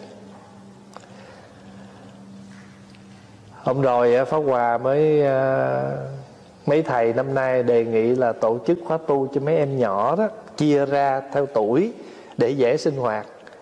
Thì chia ra thì chia làm sao không biết nữa. Hồi đây mấy em từ 17 tuổi nó tu còn hai ngày à. còn có ngày 26 27 à. Cái hòa nó không được. 25, 26, 27 là đã ít rồi 3 ngày. Người ta đổ đường mua vé máy bay từ bên Mỹ bay qua đây. Từ ở Monroe lái xe ba bốn ngàn cây số qua đây mà tu 2 ngày. Lúng rồi mấy thầy đòi 25 mới mới tập học quá nó không? Mà mình sợ tối khuya đêm đó Pháp Hòa viết một cái thơ. Pháp Hòa nói theo cái lời ngôn ngữ nhẹ nhàng thôi. À, mình, tất cả thầy trò một năm chỉ có một cái mùa hè, người ta được xin holiday. Người ta lấy holiday để làm gì? Người ta có quyền đi chơi mà. Mà giờ người ta chịu đi tu là đúng cái tâm nguyện của mình rồi. Thôi mấy đứa ráng chịu cực một bữa nữa. Đó. làm 25 trọn ngày 26 trọn ngày 27 trọn một ngày, rồi 28 mới cho chơi chứ bây giờ mình nói tụi con lười quá làm biến quá không có khuyến khích. Mà bây giờ thời bây giờ tu là phải vuốt không? Tại vì thật sự ra tuổi trẻ mà. Cho nên không là nói thôi chịu cực bữa nữa làm một cái chương trình. Mấy chú nói là phải đổi chương trình nó không sao đâu. Rồi nói giờ à, à, nếu vậy là phải nói là mình đã quyết định như vậy rồi thì mình sắp xếp cái ngày ra lo cho mấy em. Là tự bây giờ mấy cô mấy bác là ai cũng phát tâm nấu ăn cho các em là mình yên rồi. Bây giờ mình chỉ còn lo cái chương trình sinh hoạt tu học cho các em. Thì thầy sẽ giảng ba ngày liên tiếp à, 25, 26, 27 à, sinh hoạt với các em. Thì Pháp Hòa nói như vậy để thưa đại chúng là người tại gia ở ngoài người ta còn nhiều cái ràng buộc đó. tại sao quý vị muốn đây nè mới trước khi đi ra đây nhận cái email nè? Có một cô đã plan ngày mai từ Mỹ bay qua đây để cho con tu rồi mà bây giờ cuối cùng giờ phút cuối là gia đình có chuyện không qua được. Quý vị thấy không? Đâu phải dễ đâu. Cho nên đó mình đó, được cái duyên lành lúc nào mình phải mình phải phải dụng nó liền chứ không thể bây giờ pháp hòa nói ví dụ mình khỏe nè. Nó thôi từ từ tu. Biết mình có ngày mai còn khỏe không? Đó, như cái khóa tu à, cách đây mấy năm quý vị nhớ cô tịnh thanh không? Đó. Ở bên mỹ là đã bị stroke rồi mà không đi bác sĩ. Rồi qua tới đây tu được có 3 ngày. Ngày 1, ngày 2, sáng ngày 3 từ trên giường bước xuống cái là ngã quỵ stroke. Giờ ngồi xe lăn mà bây giờ là cổ là nói chuyện đỡ đỡ rồi đó. Cổ mới nói chuyện qua cách đây mấy ngày đó. Cho nên Pháp Hòa thưa đại chúng là mình không có biết được ngày mai. Cho nên giờ phút nào mình ý thức được cái sự làm lành của mình tu liền đi. Ví dụ đang giận quá đang giận quá quán làm sao để nó, trời mình giận vậy cái lỡ mình chết bất tử làm sao ta? Nghĩ vậy cái nó bớt liền.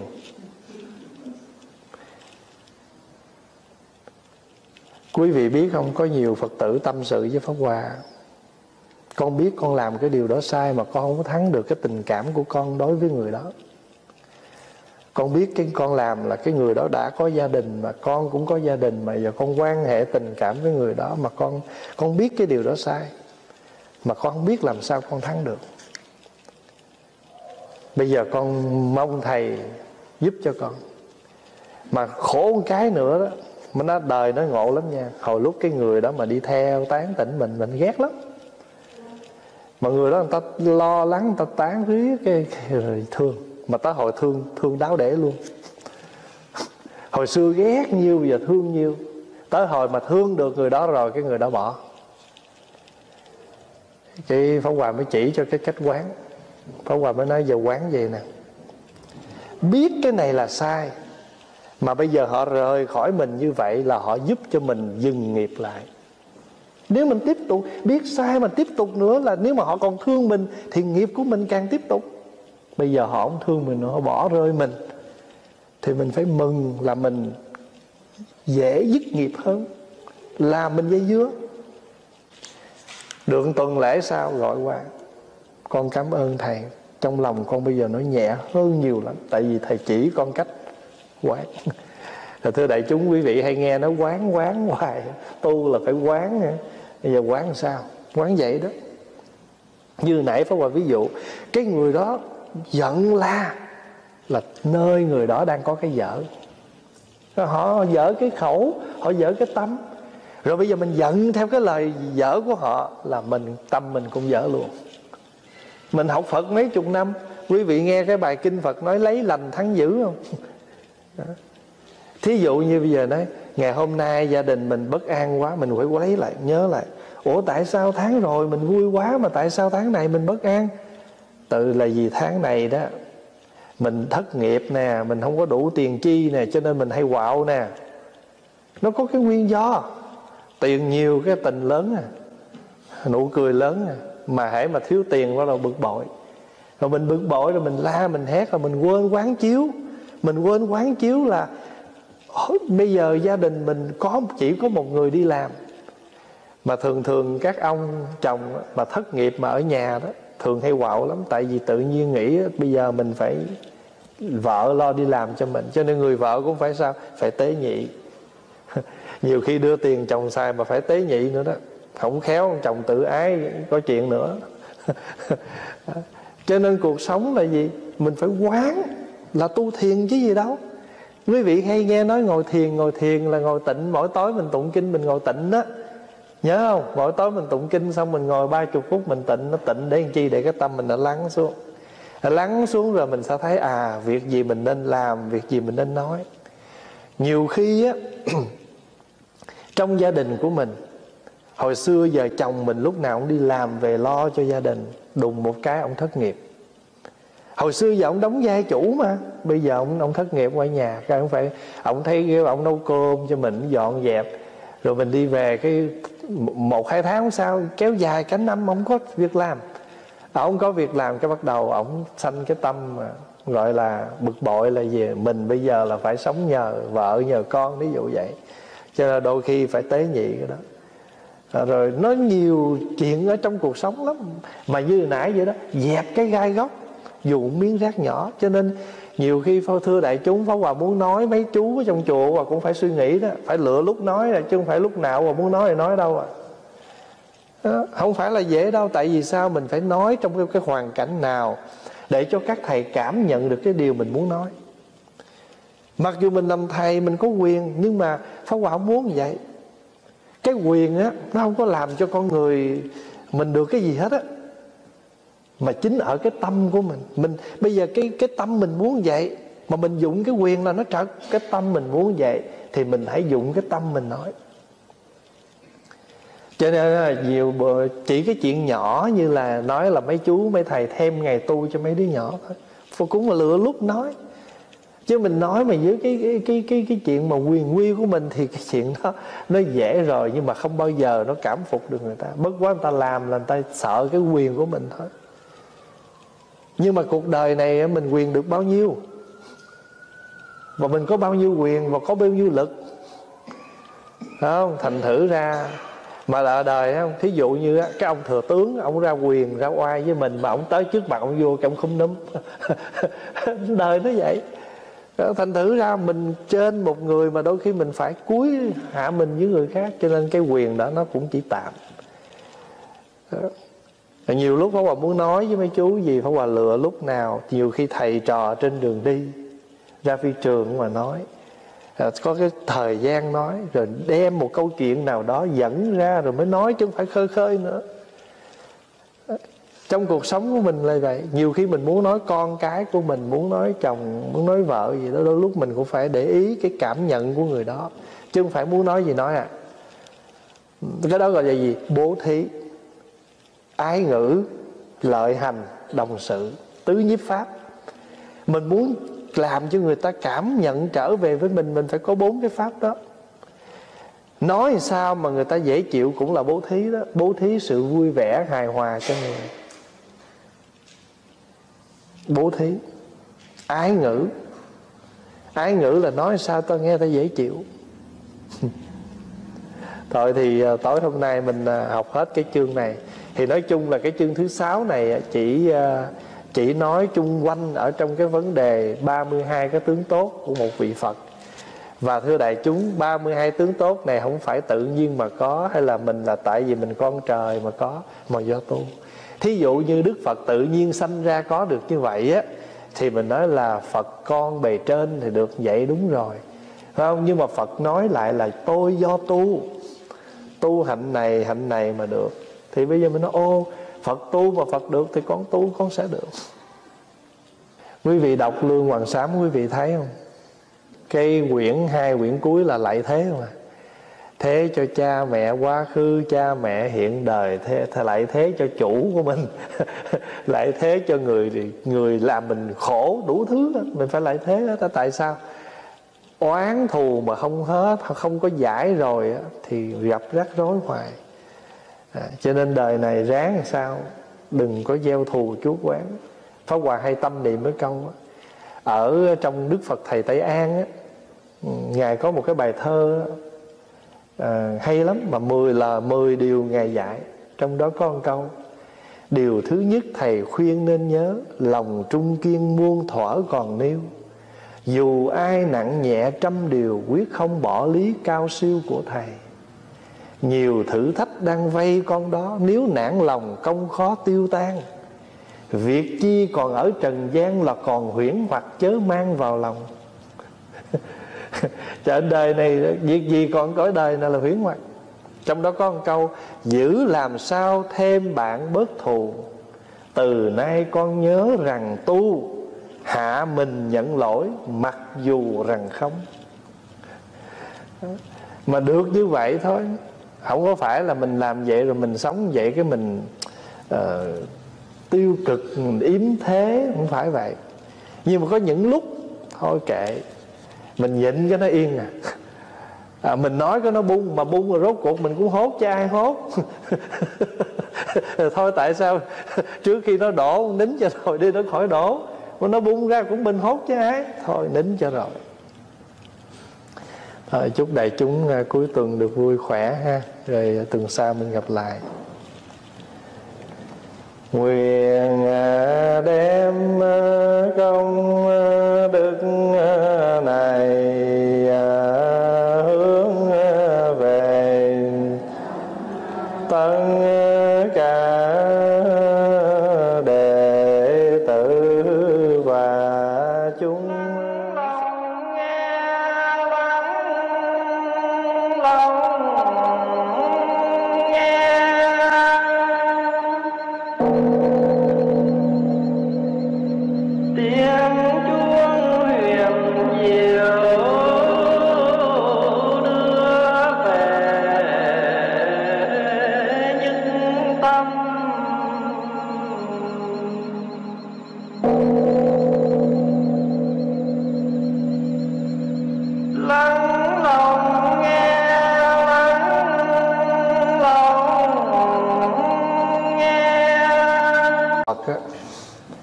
thì à, mỗi một à, đức phật đều có những cái tướng tốt tức là những cái tướng đẹp.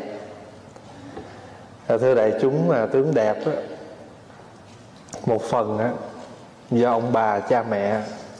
Thí dụ mình sanh ra mình có con mắt đẹp giống ba có lỗ mũi đẹp giống má thí dụ vậy đó rồi có cái tướng cao giống ông nội cũng có một phần. Rồi một phần là do phước của mình à, có nhiều khi cha mẹ không có được đẹp lắm mà sanh con ra lại đẹp. À, cha mẹ đen thui sanh con ra trắng tươi. Không? thành thử nhiều khi á, là do một phần là cái phước riêng. Phải không? Rồi cộng thêm là tại sao mình có phước? Là tại vì mình tu mình tu tập những cái hạnh lành. À, nói theo Phật giáo là gì? Mình có cái chánh báo như thế nào thì cái y báo nó sẽ như vậy chánh báo là gì? Chánh báo tức là những cái gì mà chúng ta sống chúng ta tập tu đời sống hàng ngày. Ví dụ mình làm lấy ví dụ. Người á mà ta, cái người trong lòng á không có hay tức giận thì thường cái mặt người đó là sao? Nhìn hiền lành. Còn cái người mà hay nóng tánh hay tức giận thì tự nhiên tại vì mỗi khi mà giận thì cái người đó phải có ai mà giận mà nói chuyện ngọt không? Giận cái phải trợn mắt phải nghiến răng nói chuyện riết cái nó thành cái thói quen. Trợn riết cái nhìn người đó lúc nào cũng dữ. Thành nữ ra cũng do cái nghiệp cái nghiệp của mình tức là cái chánh báo á, tức là những gì mà chúng ta tạo. Phải không? À, cái main character. Cái đó là cái mà mình cái đó là của mình. À, ví dụ bây giờ cái người đó đó thường á không có hay la hét. Thường không có hay la hét thì cái tiếng nói người đó là sao? Nó soft nó nhẹ. Tự nhiên mình mình nói chuyện với người đó mình không có cảm được cái giá không có cảm nhận là người đó dữ cái người mà tánh tình hay la hay rầy hay dữ á, chuyện nhỏ họ nói chuyện cái bình thường mình cũng cảm giác giống như là họ giận. Thành nếu cái thường ngày mình như thế nào thì thường nó biểu lộ như vậy. Đó là cái chánh báo và cái phụ đó, cái đi theo mình gọi là cái y báo. Phật giáo là mình viết hai cái từ đó chánh báo ví, ví dụ ha mình ở sạch sẽ thì cái nhà mình bước vô nó nó sạch theo mình. Tại vì sao? Tại mình thích sạch thì cái nhà mình nó sạch theo. Còn ví dụ như mình lè phè bê bối thì bước vô nhà ta nhìn ta cũng biết là người này bê bối. À, thí dụ vậy đó. Rồi cái người nào á ta đơn giản không có không có thích phấn son nhiều nhẹ nhàng thì nhìn người ta biết à, người này ăn mặc đơn giản nhưng mà sang trọng. À, cái chánh báo như thế nào thì cái y báo nó như vậy. Nhưng mà mình á phật á là ngài thường ngài tu trọn vẹn cho nên cái tướng ngài nó đẹp từ trên xuống dưới. Còn mình á được phần này cái mất phần khác. Thí dụ như mình được cái phần đó là thương người được cái tánh thương người mà có cái tật hay khoe. cho ai xong cái gì cũng khoe thì cũng được. Không? nhưng mà nay mai mốt cái được cái tướng phước tướng khác nhưng mà là hụt cái chỗ khác. Hay là có nhiều người á cái gì ờ, thương người thích giúp cho người nhưng mà hay hay nói nó hơn. Thí dụ nãy ờ, cho người ta có 5 đồng mà nó cho tới chục đồng 10 đồng à, nổ. À, thành thử ra mình á, không có phải trọn cho nên trong cơ thể của chúng ta, ai cũng có những cái tướng đẹp, nhưng mà hãy được cái này mất cái khác. Phải không? Thí dụ như người đó nhìn đẹp, phải tội có cái tướng hơi tròn quá. Đó. Thí dụ vậy, hoặc là ốm quá, hoặc là thấp quá, vân vân, chứ không có hoàn hảo. Còn đối với phật, là bởi vì phật là luôn, không phải là ngài cố tình, không phải là ngày cố tình, ngày tu vậy để chàng được đẹp vậy. Nhưng mà tự ở nơi cái tâm của cái người đó thường xuất phát ra cái tánh tu. Rồi bây giờ phật thành tựu rồi trong kinh nó mới diễn tả là những cái đẹp của phật. Rồi nói được cái nguyên nhân nào được cái tướng đó. Thôi bây giờ mình nhìn phật cái mình nói ồ phật có cái tướng đó con thích cái tướng đó con phải ráng tu cái tướng đó. À, nhưng mà tại sao đạo phật á mà cái đẹp này là đẹp gì? Cái đẹp này không phải là cái đẹp cái kiểu mà trang điểm mà do cái tu thôi. Tự mình tu là nó có cái tướng đó. À, tự mình đời sống hàng ngày của mình có cái hạnh có cái đức thì tự nhiên nó biểu lộ cái tướng đó. Rồi bây giờ trong này á mình đọc cái phần này là mình sẽ thấy do nguyên nhân nào mà được cái tướng đó. À, theo như đạo phật á đức phật quở nè nếu nhược dĩ sắc kiến à, nhược dĩ sắc kiến dĩ âm thanh cầu ngã thị nhân hành tà đạo bất năng kiến như lai. Hả? Phật trong kinh kim cang nói nếu người nào lấy sắc tướng mà cầu ta lấy âm thanh mà cầu tôi tức là theo tôi là vì sắc tướng vì âm thanh thì người đó đang tu theo cái cái đạo tà đạo sai. Không bao giờ thấy được như lai. Thì tại sao đây lại nói là tướng đẹp? À, mình tự mình tu tự tâm mình phát khởi mình tu là có. Còn mình không có cầu gì hết. Mà không cần phải cầu gì hết. Tự mình phát tâm mình tu là tự nhiên cái việc đó nó có. Nhược dĩ sắc kiến ngã nếu người nào lấy cái cái cái sắc tướng mà cầu tôi lấy âm thanh mà cầu tôi thì người đó không bao giờ thấy được như lai thường thường á đại chúng nhớ là những sắc tướng như thế nào nó cũng đều là giả tạm hết không? cái người đó đó đẹp thiệt là đẹp nhưng mà cuối cùng thì da cũng nhăn mắt cũng mờ đó, bây giờ thỉnh thoảng quý vị sẽ thấy trên báo chí đăng à, những nữ tài tử à, đẹp nhất của đài truyền hình à, TVB Hồng Kông ngày ấy và bây giờ. Họ đem hình ra hồi người đó 20 tuổi bây giờ người đó 60 tuổi ví dụ vậy. Rồi người, khi người ta sợ gia nhân người ta làm đủ thứ nhưng mà thủy chung rồi nó cũng sẽ nhăn tại vì cái bản chất của nhăn của già của chết bệnh tật là một cái sự thật của con người. Nhưng mà ở đây á nếu tự tâm chúng ta phát tâm chúng ta tu thì tự nhiên chúng ta có cái tướng đó. Mà cái tướng đó không phải để làm gì hơn mà để cho người khác người ta nhìn vào cái tướng đó mà người ta phát tâm thiện lành. À, người ta không có khởi cái tâm tầm bậy. À, mà người ta nhìn cái đó cái oai nghi cái nét đẹp đó để người ta khởi cái tâm thiện lành. Thì đức phật tự tâm ngài khi còn là những người đang phát tâm tu ngài tu như vậy cho nên ngài được cái cái quả như vậy. Cái này mình không có nói nói lâu, nói dài, mình nói lượt thôi. Bởi vì sao?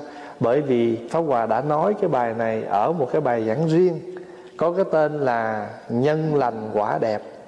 Thì quý vị nào muốn biết về 32 tướng này chi tiết, thì quý vị tìm cái bài đó quý vị nghe, nhân lành quả đẹp. Còn ở đây mình nói lượt, bởi vì mình đang học cái quyển kinh này, mà ở đoạn kinh này nói về cái đó thì chúng ta cũng phải đọc ờ, nói lượt bây giờ nói thứ lớp tu 32 tướng. Thiện nam tử hoặc có người lại theo thứ lớp nói rằng, như Lai trước được tướng, lòng bàn chân đầy đặn, Còn các tướng kia thứ lớp được. Tại sao? Vì lúc làm Bồ Tát ở trong vô lượng đời, Khi tu hạnh bố thí trì giới tu tập đạo hạnh Tâm không lai động.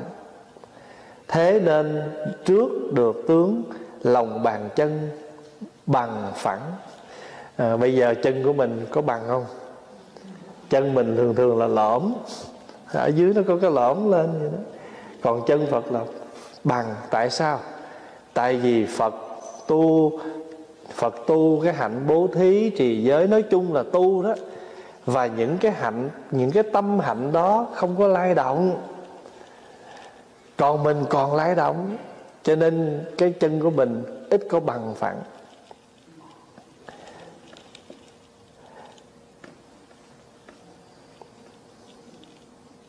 Bây giờ lòng bàn chân xoáy tròn như khu ốc Tại sao?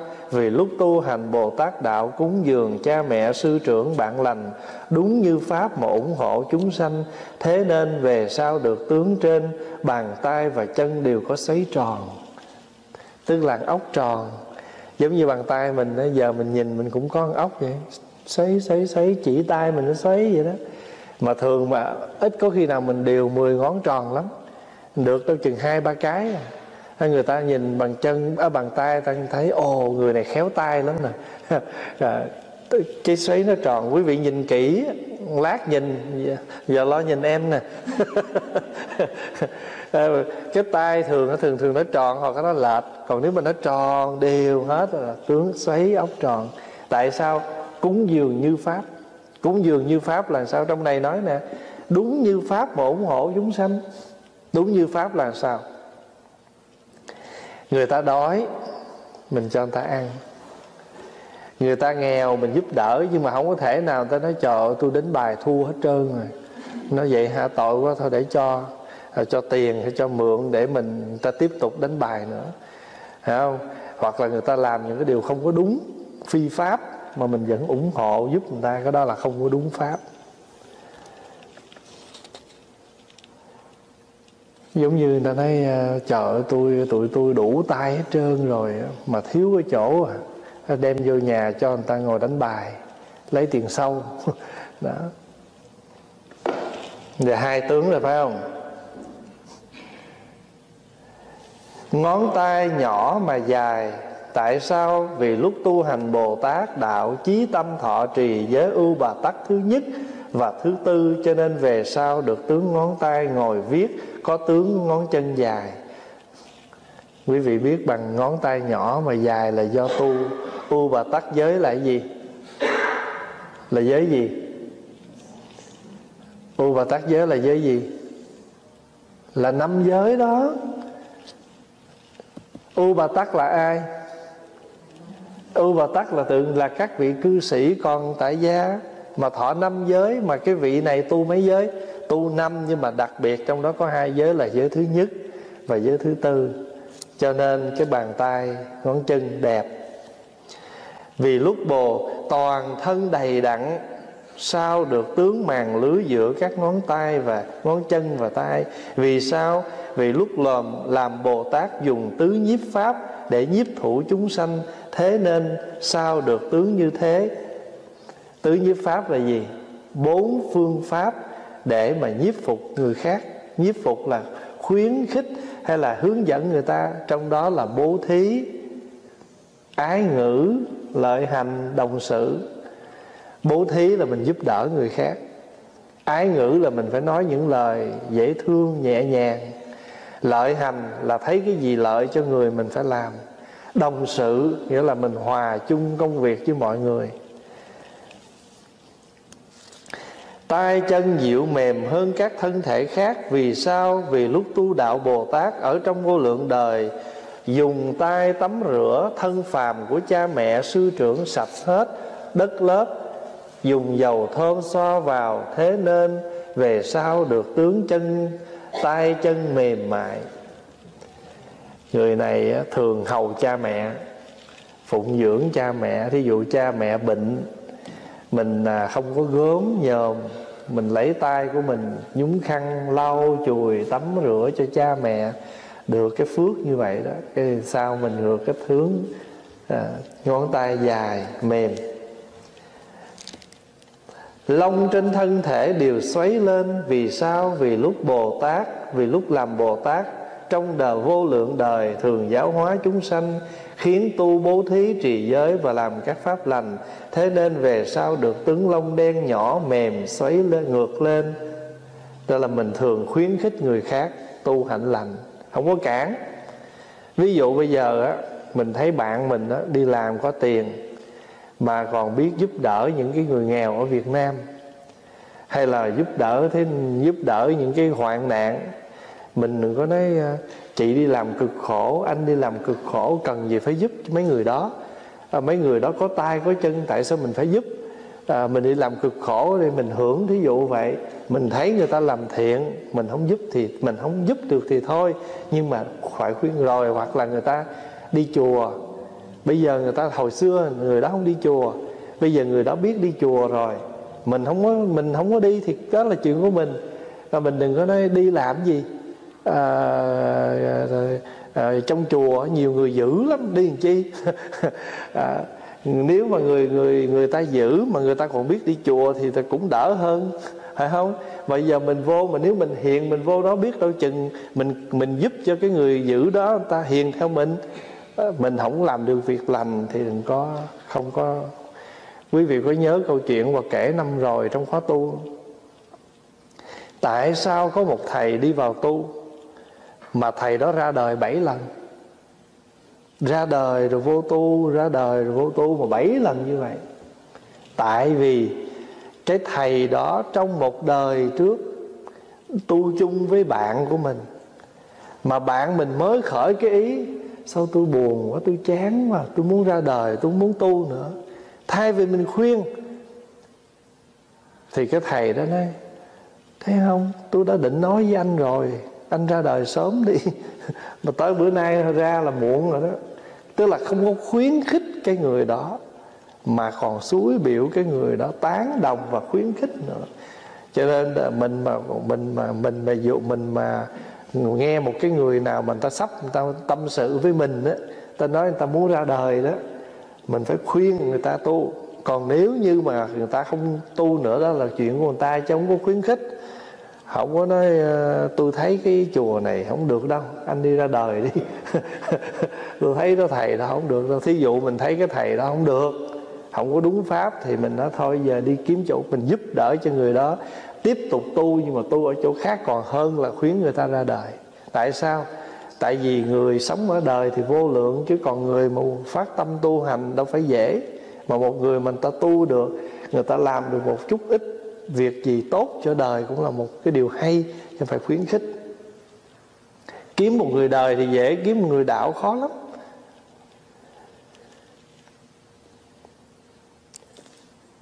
Bắp đùi lộc vương vì sao? Vì lúc làm bồ tát chí tâm nghe pháp và chí tâm thuyết pháp để phá hoại các tội lỗi sanh tử. Thế nên về sau tướng bắp đùi như bắp đùi lộc vương. À, bắp lộc vương là gì? Là con nai chúa, lộc là nai, vương là vua. Con nai mà nó là vua của các con nai.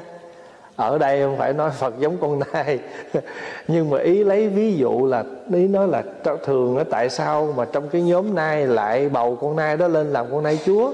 Là vì, bởi vì nó đẹp nhất. Nó đẹp nhất. Đây là những cái những cái những cái cách mà người ấn độ ngày xưa người ta ví dụ vậy đó không? con trong nai thì nó có một con nai đẹp nhất đám, thì con nai nó được cái đám nai nó bầu làm nai chúa. Thì người ấn độ người xưa hay ví dụ, người nào mà đẹp nhất thì hay lấy cái hình ảnh đó ra ví dụ. Ví dụ như người việt nam mình đó không, người việt nam mình cũng hay đem à, cây cỏ hay là hình ảnh con này kia ví dụ vậy đó. Mắt thì mắt bồ câu đó. À, chân mày thì chân mày lá liễu đó. À, mặt thì mặt trái xoan đó. À, thí dụ vậy đó. Môi thì môi trái tim đó. À, thì người ấn độ ngày xưa ta cũng có những cái cách người ta ví dụ cái đẹp của người đó. Người trung hoa mà người nào đẹp quá nói trời ơi người đó chim sa cá lặn. À, biết chim sa cá lặn không? Hễ đẹp đến mức độ mà cái người đó xuất hiện á là con chim á. Nó đang đậu á nó phải là sao? Nó rớt. Con cá mà thấy người đó nó phải lặn đi chỗ khác. Tại vì sao? Không phải nó sợ. À, là vì nó mắc cỡ quá đẹp, đẹp không bằng. À, con cá lặn đi chỗ khác còn con chim đang đậu thì phải phải rơi xuống gọi là chim xa cá lặn. À, rồi mình đem ví dụ vì sao? À, à, vì à, à, tuyết á cái cái cái đẹp của mình đó nó trắng còn hơn tuyết mà mà trong chuyện kiều có một câu là tuyết nhường màu da. Thường thường ta nói người đó trắng như tuyết phải không? Vậy mà cô thúy kiều à, thúy vân đẹp. Đẹp mà đẹp làm sao? Đẹp trắng đến độ là tuyết nó còn phải thua tuyết nhường màu da mà nói ra, người ta nói cái đẹp làm sao? Trời ghen ờ, hoa ghen, thua thấm liễu hờn, kém xanh. À, hoa là mà nó, hoa thường thường nó đẹp rồi, phải không? Vậy mà giờ nó phải ganh với cái nét đẹp của thúy kiều. Hoa ghen, thua thấm liễu hờn, kém xanh. Đó là những cái cách ví dụ. Cho người ấn độ ngày xưa họ, đó là một cách ví dụ. Ví dụ như họ nói trong kinh nói con sư tử thường thường cái tướng đi con sư tử là đi từng bước. Sư tử không có đi nhanh, sư tử đi chậm. Nhưng mà chính cái bước chân oai hùng của con sư tử làm cho những con sư, con thú khác ở trong rừng á, nó sợ. Cho nên người ta hay nói đức phật đi như tượng vương, đi như là con con con con con con voi chúa, con sư tử chúa à, còn phật ngồi á oai hùng như con sư tử. Thí dụ vậy. Phật nằm cái dáng nằm oai hùng. Cái chữ oai hùng đây không phải là là là làm cho người khác sợ mà đây là ma nó sợ. Vì lúc làm bồ tát chí tâm nghe pháp tại sao được như vậy? Bởi vì lúc làm bồ tát chí tâm nghe pháp và chí tâm thuyết pháp để phá hoại các tội lỗi sanh tử nghe pháp phải chí tâm, mà thuyết pháp thì phải chí tâm. Cho nên nghe pháp đừng có nói chuyện. À, nghe pháp không có rù rì. Nghe pháp là mình ngồi nghe, mình chú tâm để mình tiếp nhận. Cho nên được cái thân hình như vậy. À, tướng thân hình tròn trịa như cây ni câu đà. Vì sao?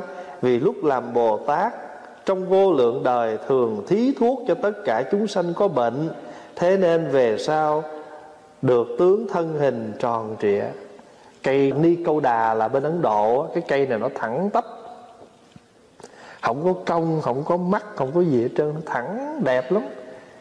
À, cho nên người ấn độ dùng cái cây này để ví dụ cho một cái người mà có cái tướng thẳng thớm. Tại sao được cái tướng này? Tại vì hay cho người ta thuốc uống. Ờ, chứ không phải cho người ta thuốc chích. Cho người ta thấy người ta bệnh, mình cho người ta thuốc. Nhưng mà nhớ là phải phải hỏi cho kỹ nha. Hồi xưa thì uống thuốc gì cũng được. Bây giờ mà cho vậy là không được á. Đừng nghe vậy rồi cái thấy ai bệnh cũng đưa thuốc này uống đi. Người ta có hạ ta hết bệnh thôi. Mà ta không có bệnh, ta thưa. Cánh tay dài quá gối, vì sao? Vì lúc làm bồ tát không dối gạt chư hiền thánh cha mẹ sư trưởng thiện tri thức, thế nên về sau được tướng tay dài quá gối. Được tướng ấy rồi, Thứ lớp được tướng âm tàn Như tượng vương, mã vương. Vì sao? Vì lúc làm Bồ Tát Trong nhiều đời thấy người kinh sợ, Có thể giúp họ Thường sanh tâm hổ thẹn Không nói lỗi người Khéo che tội kẻ khác Thế nên về sau Tướng âm tướng âm tàn như tượng mã. Tướng âm tàn là gì? Tức là cái thân Cái nữ căn, cái nam căn Không có thô kệch. À, tại sao? Tại vì mình luôn luôn mình che giấu cái lỗi của người khác. Không cái chữ che giấu đây không phải là mình che giấu cái tội lỗi của người đó. Nhưng mà cái gì mà xấu của người khác thì mình không có phô trương không có nói. Không? mà mình tìm cách mình nâng đỡ cho họ tốt hơn. Còn không thôi chứ không phải gặp ai. Mình cũng có nhiều khi người ta cái phá quà ví dụ thôi. Ví dụ như à, cái người đó à, có một cái tật à, có một cái lỗi là à, đi vào trong chúng à, hay à, lên ngồi ăn cơm chung. Mà cái người đó có cái tật ăn xấu lắm. Lên ăn là không biết coi ngó trước sau thấy gì ngon gấp trước. Thí dụ vậy đi. Mình gặp ai mà nói trời ơi ăn với cái người này nha phải cẩn thận á. Lên ngồi ăn lại gì ngon gấp trước không cần coi ngó ai đâu. Thí dụ vậy tức là mình phô cái cái cái mặc dù cái đó không phải cái tội thấy không? Cái lỗi là cái lỗi sơ ý của người này. Sống thiếu cái tế nhị. Thì mình không có nên đi phô bày những cái lỗi của người ta. À, hoặc là thí dụ như là hôm đó người đó lên đứng trước đại chúng người ta nói cái gì nó lỡ lời. Mình cũng không có nên lặp đi lặp lại à, để mà đi nói cái lỗi của người đó mà mình phải che giấu. Hôm rồi có một cái đi dự một cái lễ thì có một cái vị đó lên à, phát biểu nhưng mà phát biểu nó hơi kỳ. Lời lẽ nó thô nó không được nhẹ nhàng mà nó làm cho nhiều người khó chịu. Thì sau khi đi về tới nhà đó thì pháp hòa email cho vị trưởng ban tổ chức thì pháp hòa mới nói là nếu có làm cái cùng băng đó đó thì nên cắt những cái đoạn đó đi. Vì cái vị đó phát biểu hôm đó ai cũng ngồi đó cũng cảm thấy không có thoải mái. Mà mình cũng không có muốn cái hình ảnh như vậy. À, có thể cái vị đó lúc đó à, không có không có không có giữ được cái cái cái nghĩ là muốn phát biểu nhưng mà không biết ở một cái tình huống nào để phát biểu. Cho nên thôi cắt đi. Đừng có để để cho cái lễ của mình nó nó, nó đẹp. Mà sau này nhiều người coi nó sẽ không có hay. Thì Pháp Hòa cũng nói với quý vị trong ban tổ chức là nên làm cái cuồng băng đó cho nó đẹp lại. Thì cái vị đó mới trả lời là cái mail. Nói là con không có ngờ là À, thầy à, để ý đến mấy cái việc như vậy mà con có không nghĩ tới. Và lâu nay con thường học trong luật giới cũng thường nghe cái câu là chúng trung hữu thất nghi đương ẩn ác dương thiện. Quý vị nghe câu đó trong luật giới có dạy đó. Nếu lỡ trong chúng ai có làm cái gì sơ thất chúng ta phải nên tìm cách bao bọc nâng đỡ, chở che cho người đó mà không nên phô bày. Thí dụ vậy, lâu nay con học câu đó mà không con biết phải ứng dụng ở trường hợp nào, mà hôm nay thầy nói cái email này nó đã chỉ cho con được cái cách thực tế làm sao để được học và ứng dụng được cái câu là trong chúng có sơ thất oai nghi, phải ẩn cái ác, hiện cái lành chúng chung hữu thất nghi đương ẩn ác, dương thiện, chữ dương là mình đưa lên cao. Cái thiện rồi đó. Đó. Cho nên pháp hòa nói vậy là thật sự ra tất cả chúng ta ngồi đây, người nào cũng có cái hay mà người nào cũng có cái tật. Mà nếu mà muốn đi đi phô trương cái tật của mỗi người á, ngày nào cũng có chuyện để nói nhưng mà nếu chúng ta muốn nói cái đẹp cái hay của người nào á cũng rất nhiều chuyện để nói. Mà thường thường mình ít có nhớ mấy cái đó. Cái gì mà cái dở người ta cái mình đem ra mình làm cái gì? Tiếng anh nó kêu là make fun đó. Tức là mình làm trò mình cười mình vui vậy đó. Mà cũng không nên. Ừ. Hồi đó có hòa có một hòa thượng ngày dạy mỗi lần mà thấy uh, uh, súng lại mà mà make fun một cái vị nào đó là hòa thượng rầy đó hòa thượng nói người ta vậy mà mấy đứa không có thương. Thí dụ có người người ta hay liệu đó tuyệt đối không có được chọc người liệu. Ví dụ cái bà cái cô đó nó cổ đụng tới cổ cái cổ hay liệu mà liệu bậy liệu bạ đó. Thưa đại chúng có một vị gần đây tâm sự với pháp hòa là bây giờ cái vị đó đang mắc cái quả báo đó. Là vì ngày xưa trong xóm á, có một người liệu mà hay nói bậy. Thì cái vị này là hay đi tới chọc làm cho cái người đó liệu mà liệu bảy liệu bả cả ngày thì bây giờ cái vị đó bị. Rồi vừa rồi phong pháp hòa nó là tâm sự nói trời bây giờ con thấy cái nhân quả rõ ràng. Hồi đó con chọc cái vị đó làm sao là bây giờ con y chang như vậy. Đó. Thành thử ra mình á, thấy cái người mà người ta bị một cái bệnh mà người ta liệu như vậy không có nên chọc. Rồi có nhiều người người ta có cái bệnh là sợ. Cái mình hay núp trong ở trong cửa hù dọa người ta không nên á tại vì sao? Vì người ta sợ, phải không? Mà cái hạt giống sợ hãi trong người ta, mà mình cứ hù dọa người ta vậy rồi mai mốt mình sanh ra. Có bệnh tim, hay dọa người khác đau tim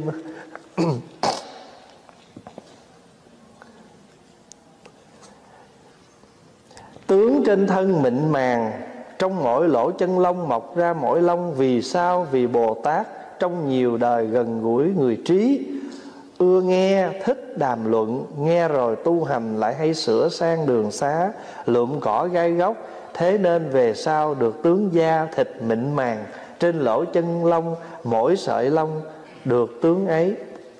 Quý vị thấy ở đây diễn tả là ngay cả từng cái chân lông nó cũng đẹp. Ở đây á, mình không có cái đây là mình lấy cái ý thôi.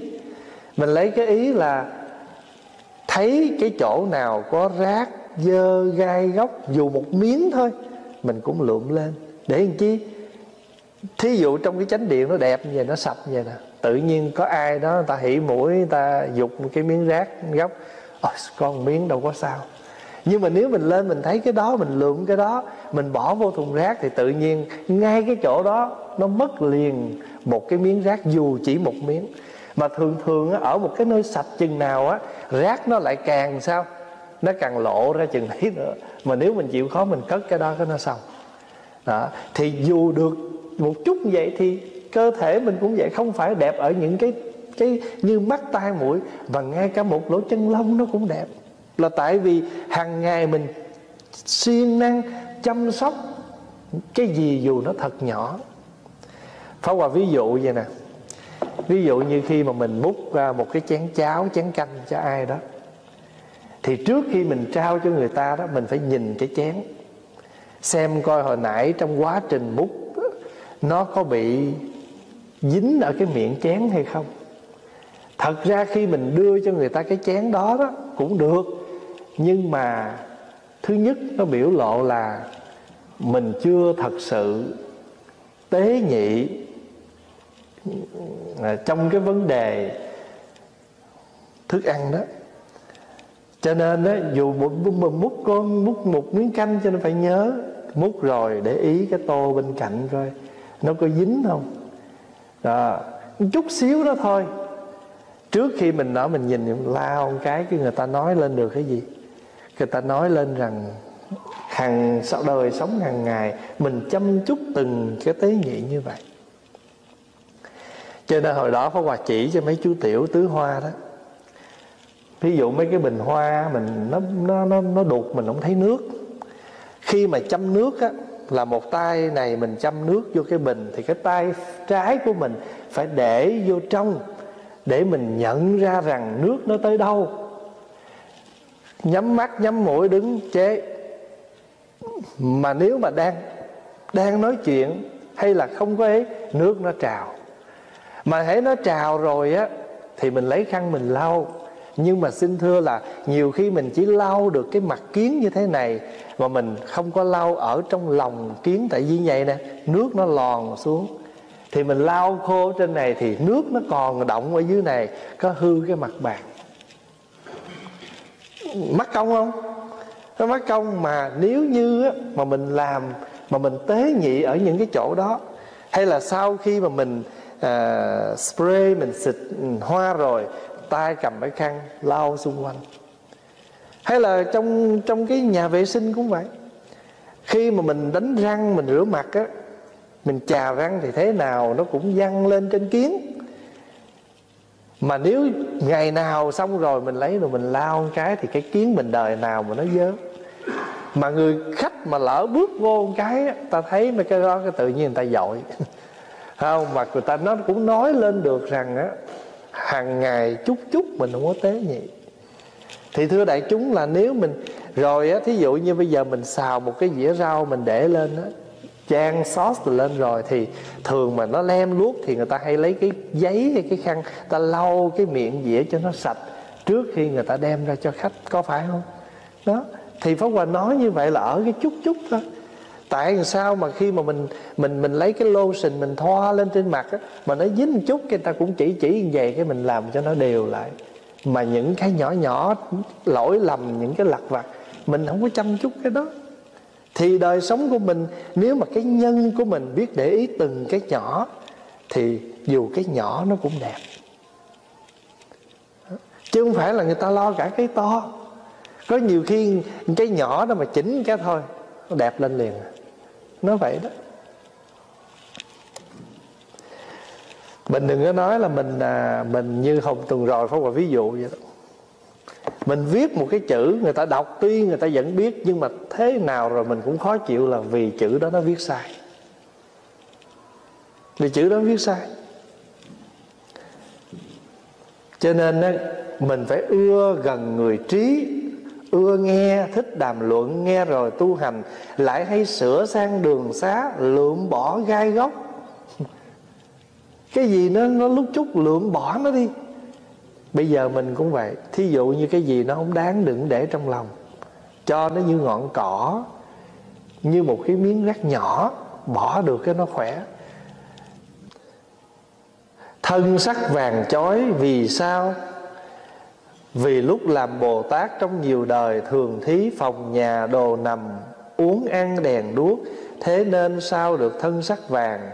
Được tướng ấy rồi, thứ lớp được bảy chỗ, đầu không rốn, hai tay hai chân không khuyết.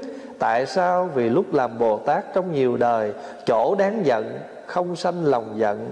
Ưa tùy ý muốn của chúng sanh mà thí đồ cần dùng. Thế nên về sau, được bảy chỗ viên mãn. À, bảy chỗ là đầu nè hông nè rốn nè hai tay hai chân khuyết. Vì sao? Chỗ đáng giận mà không giận. Quý vị có bao giờ mà đối diện với một cái chuyện gọi là đáng giận mà không giận không? Có chứ.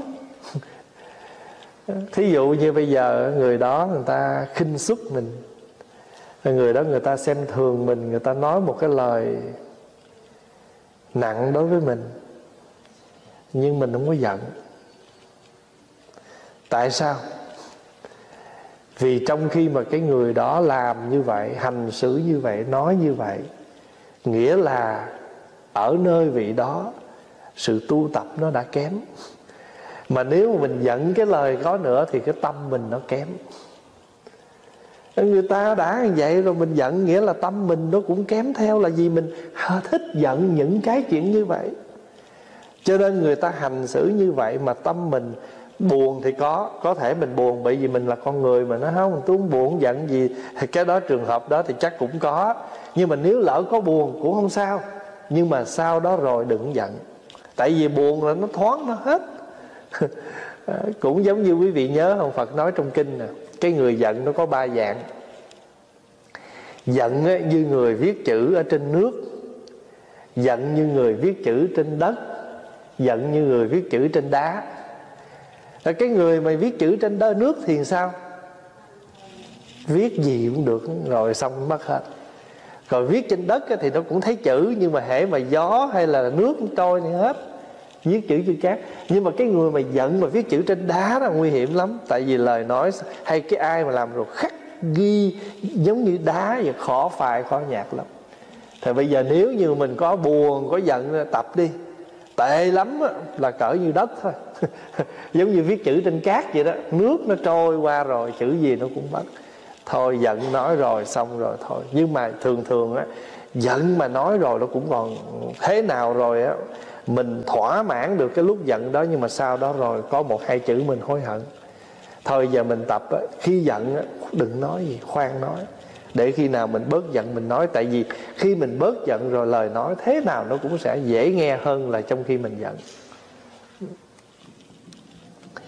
Thưa đại chúng là, ở đời nếu mà chúng ta bất chấp, muốn nói gì nói, muốn làm gì làm mà thôi, không có gì để nói.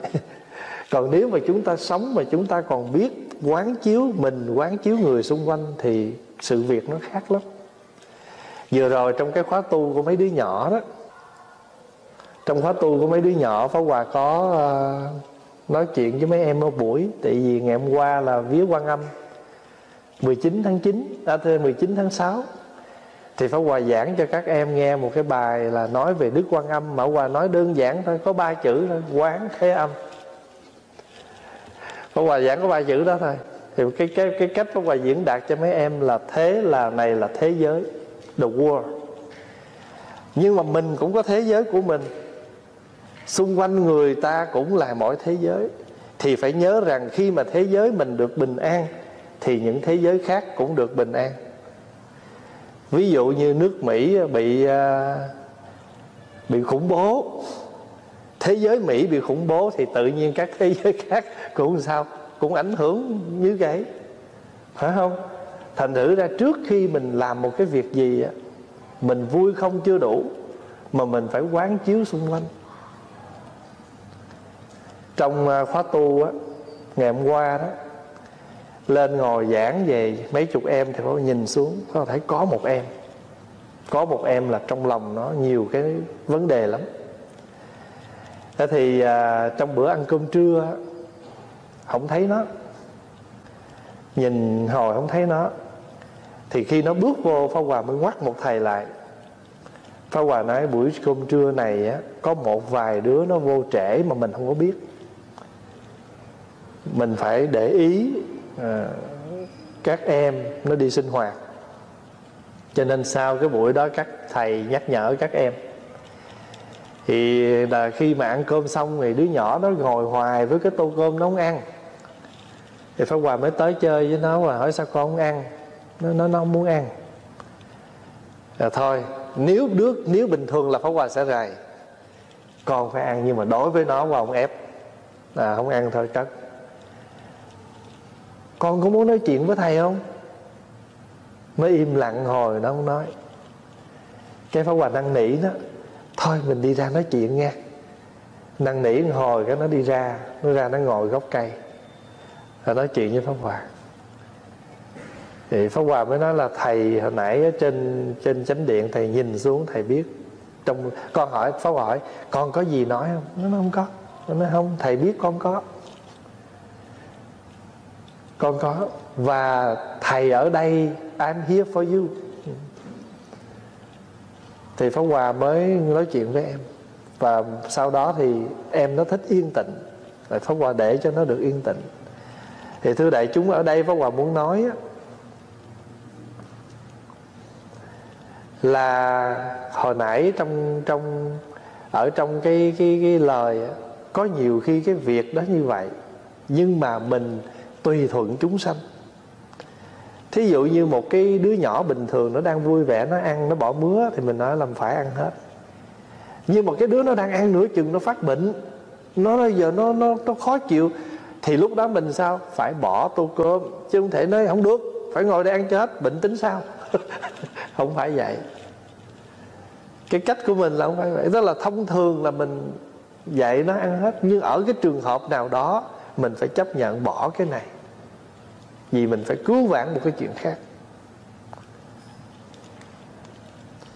Trong cuộc sống á, à, hôm rồi à, pháp hòa ngồi nói chuyện với thầy viện chủ.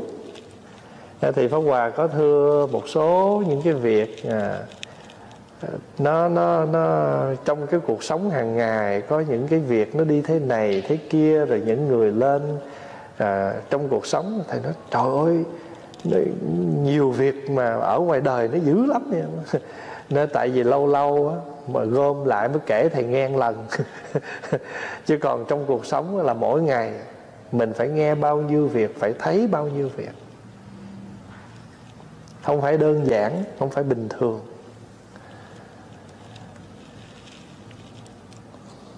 Những chỗ khớp xương đều lành lặn viên mãn vì sao? Vì lúc làm bồ tát trong nhiều đời khéo phân biệt những tướng lành hay dữ. Lời nói không sai lầm, không nói lời vô ích. Những pháp đáng thọ trì thì miệng thường giảng nói, còn pháp không đáng thọ trì thì không dối nói ra. Thế nên về sau được tướng những khớp xương không trụy khuyết, được tướng như thế. Tại ở đây nói là những cái khớp xương một thân cao, hai tướng mà là một thân cao, hai là tròn má. Đều như hình sư tử, tại sao? Vì lúc làm bồ tát trong nhiều đời, chính mình không nói hai lưỡi, cũng không dạy người khác nói. Thế nên về sau được tướng, được hai tướng như vậy, tức là tướng gì? Tướng thân cao và má tròn. Là do mình tu là không có nói lưỡi hai chiều. Nói lưỡi hai chiều là cái gì?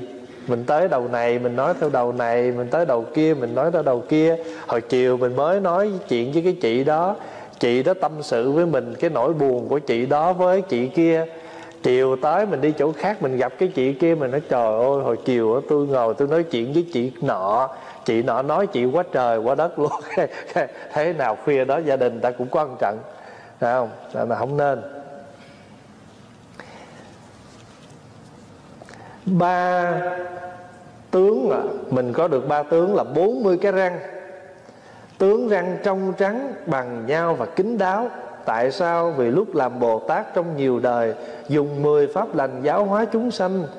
Chúng sanh thọ rồi tâm sanh hoan hỷ thường hay khen ngợi công đức của người khác. Thế nên về sau được ba tướng như thế. Ba tướng là gì? Một là đủ 40 cái răng. Hai là răng trắng ba là kính đáo, đều đặn. Tại vì mình thường dạy cho người ta tu 10 điều lành. 10 điều lành là gì? Về thân thì có ba điều. Không sát sanh, không trộm cắp, không tà hạnh. Về miệng thì có bốn điều. Không nói dối, không nói lưỡi hai chiều, không nói lời thô ác, không nói lời vô ích là bốn. Ý có ba điều đó là tham sân si. Pháp Hòa thí dụ thế nào là vô ích? Thí dụ như bây giờ á Cái chị kia chỉ ngồi chỉ nói chuyện với một người bạn. Chị nói à, hôm rồi á Ở xóm em á Có cái người đó nghèo Em nghe tin được Em cũng để dành đâu được à, trăm đồng Em gửi về em tặng cho cái gia đình đó không mắc gì tới mình bị đi ngang cái gì? Bà mà có tiền cúng trăm đô hả? Trời đất ơi có mắc mới tới mình đâu. Phải không? Trường hợp vậy là vô ích. Thế nói trời ơi bữa hôm qua tôi tình cờ tôi lên chùa à, thấy ở trên chùa lại phật tụng kinh. Tôi cũng ngồi không có mắc mới tới mình đi ngang gì? Bà mà có tụng kinh nữa hả? Bà mà tu được cái tu thành phật á. mình phải khuyến, mình nghe mà thứ nhất, không có nói gì với mình hết. Mình đi nghe mình nói những cái chuyện đó, không có lợi ích. Thứ nhất, không có lợi ích gì cho mình, cho ai mà cũng chẳng dính dáng gì tới mình. Đó, trong kinh, trong cái giới thập thiện gọi là nói vô ích đó. nói vô ích thì nói vậy đó, tức là không có chuyện gì quan trọng để nói. Rồi mình mình đi vô mình nói. Hay là mình vô trong khóa tu, học hay thế này thế kia, đời sống hàng ngày, có những cái chuyện mình nói ra không ích lợi cho ai. có cái câu chuyện ta kể đó, người kia nói, chị chị, tôi muốn kể chị nghe chuyện. Trước khi chị kể, tôi muốn hỏi ba điều. Một, chuyện này có dính dáng với tôi với chị không? Nói dạ không. Thứ hai, chuyện này tốt hay xấu? Nói dạ không tốt. Thứ ba, chị chích ta chị nghe nghe ta nói là, ô, tôi nghe ta nói rồi. Căn cứ trên ba điều này dạ thôi khỏi nghe. Thứ nhất, không dính dáng tới tôi với chị. Thứ hai, đây là điều nói không tốt, điều xấu điều thứ ba, không phải chính tay chị nghe và chính mắt chị thấy, chị cũng nghe nói lại thôi. Thì thôi, khoan, điều này nó không có liên hệ. Bốn răng cửa trắng như ngọc, Vì sao? Vì lúc làm Bồ Tát trong nhiều đời, Tu đức từ ở cõi dục. Hay suy nghĩ pháp lành, Thế nên về sau được bốn cửa, Bốn răng cửa trắng được trong, Được như ấy rồi, thứ lớp Bốn cái răng cửa trắng Là vì được tu cái nhân là ở trong cõi dục. Trong này có câu nè, Tu đức từ ở cõi dục. Ừ, cõi dục là cõi ở đâu? cõi dục là cõi ở đâu? Cõi nào? Của mình nè. Từ cái cõi của mình á, đi lên thêm sáu tầng nữa, sáu cõi trời trên mình á đều gọi là cõi dục hết. Rồi thôi, bây giờ năm cõi trên mình không biết. Giờ nói cõi của mình nè. Tiếng anh dịch là the world of desires. Cõi dục là cõi ham muốn. Mà trong cõi đời này á con người mình là không ngày nào mà không có ham muốn. Nhưng mà chúng ta tu cái đức từ ở trong cõi dục là gì? Có những chúng sanh người ta ham muốn thì chúng ta khởi lòng thương. Nếu họ thấy cái sự ham muốn của họ rất là sai quấy còn nếu người nào mà ham muốn tốt lành thì chúng ta lại nâng đỡ. Thí dụ quý vị thấy á, ở trong cái cõi dục này nhiều người, ngày nào người ta cũng có những cái cái nhu cầu. Cõi dục là gì? Dục là ham muốn thôi. Có những người ham muốn xấu, có những người ham muốn tốt. Rồi mình thấy người ta ham tu, mình phải nâng đỡ. Mà mình thấy người ta bệnh quá trời mà vẫn chưa chịu tu, mà còn ham. Có nhiều người bệnh quá trời quá đất nhưng mà khỏe khỏe cái đi casino à, rồi bệnh quá nằm đó cái con cái tới thăm thấy tội quá. Mỗi đứa chặn cho má năm chục để dành uống thuốc à, ba chục để dành à, à, uống thuốc gom ba chục năm chục cái để dành lại cái khỏe khỏe cái đi casino. Đó cái cũng có dục mà mình thấy vậy mình tội nghiệp. Rồi mình thấy cái người người ta ham tu mình nâng đỡ. Cho quý vị thấy không? Tại sao mà nhiều khi á thấy mấy thầy mấy chú mới có hè nào mà bắt đầu khóa tu á, là bắt đầu cũng cực. Là tại vì bây giờ phải hòa giao cho mấy thầy phải lo. Thì phải thầy phải lo thì phải lo chơi với đứa này lo với đứa kia. Rồi uh, tu uh, tu thì tu ba ngày phải có ngày chơi. Đó. Nó đức từ ở trong cõi dục.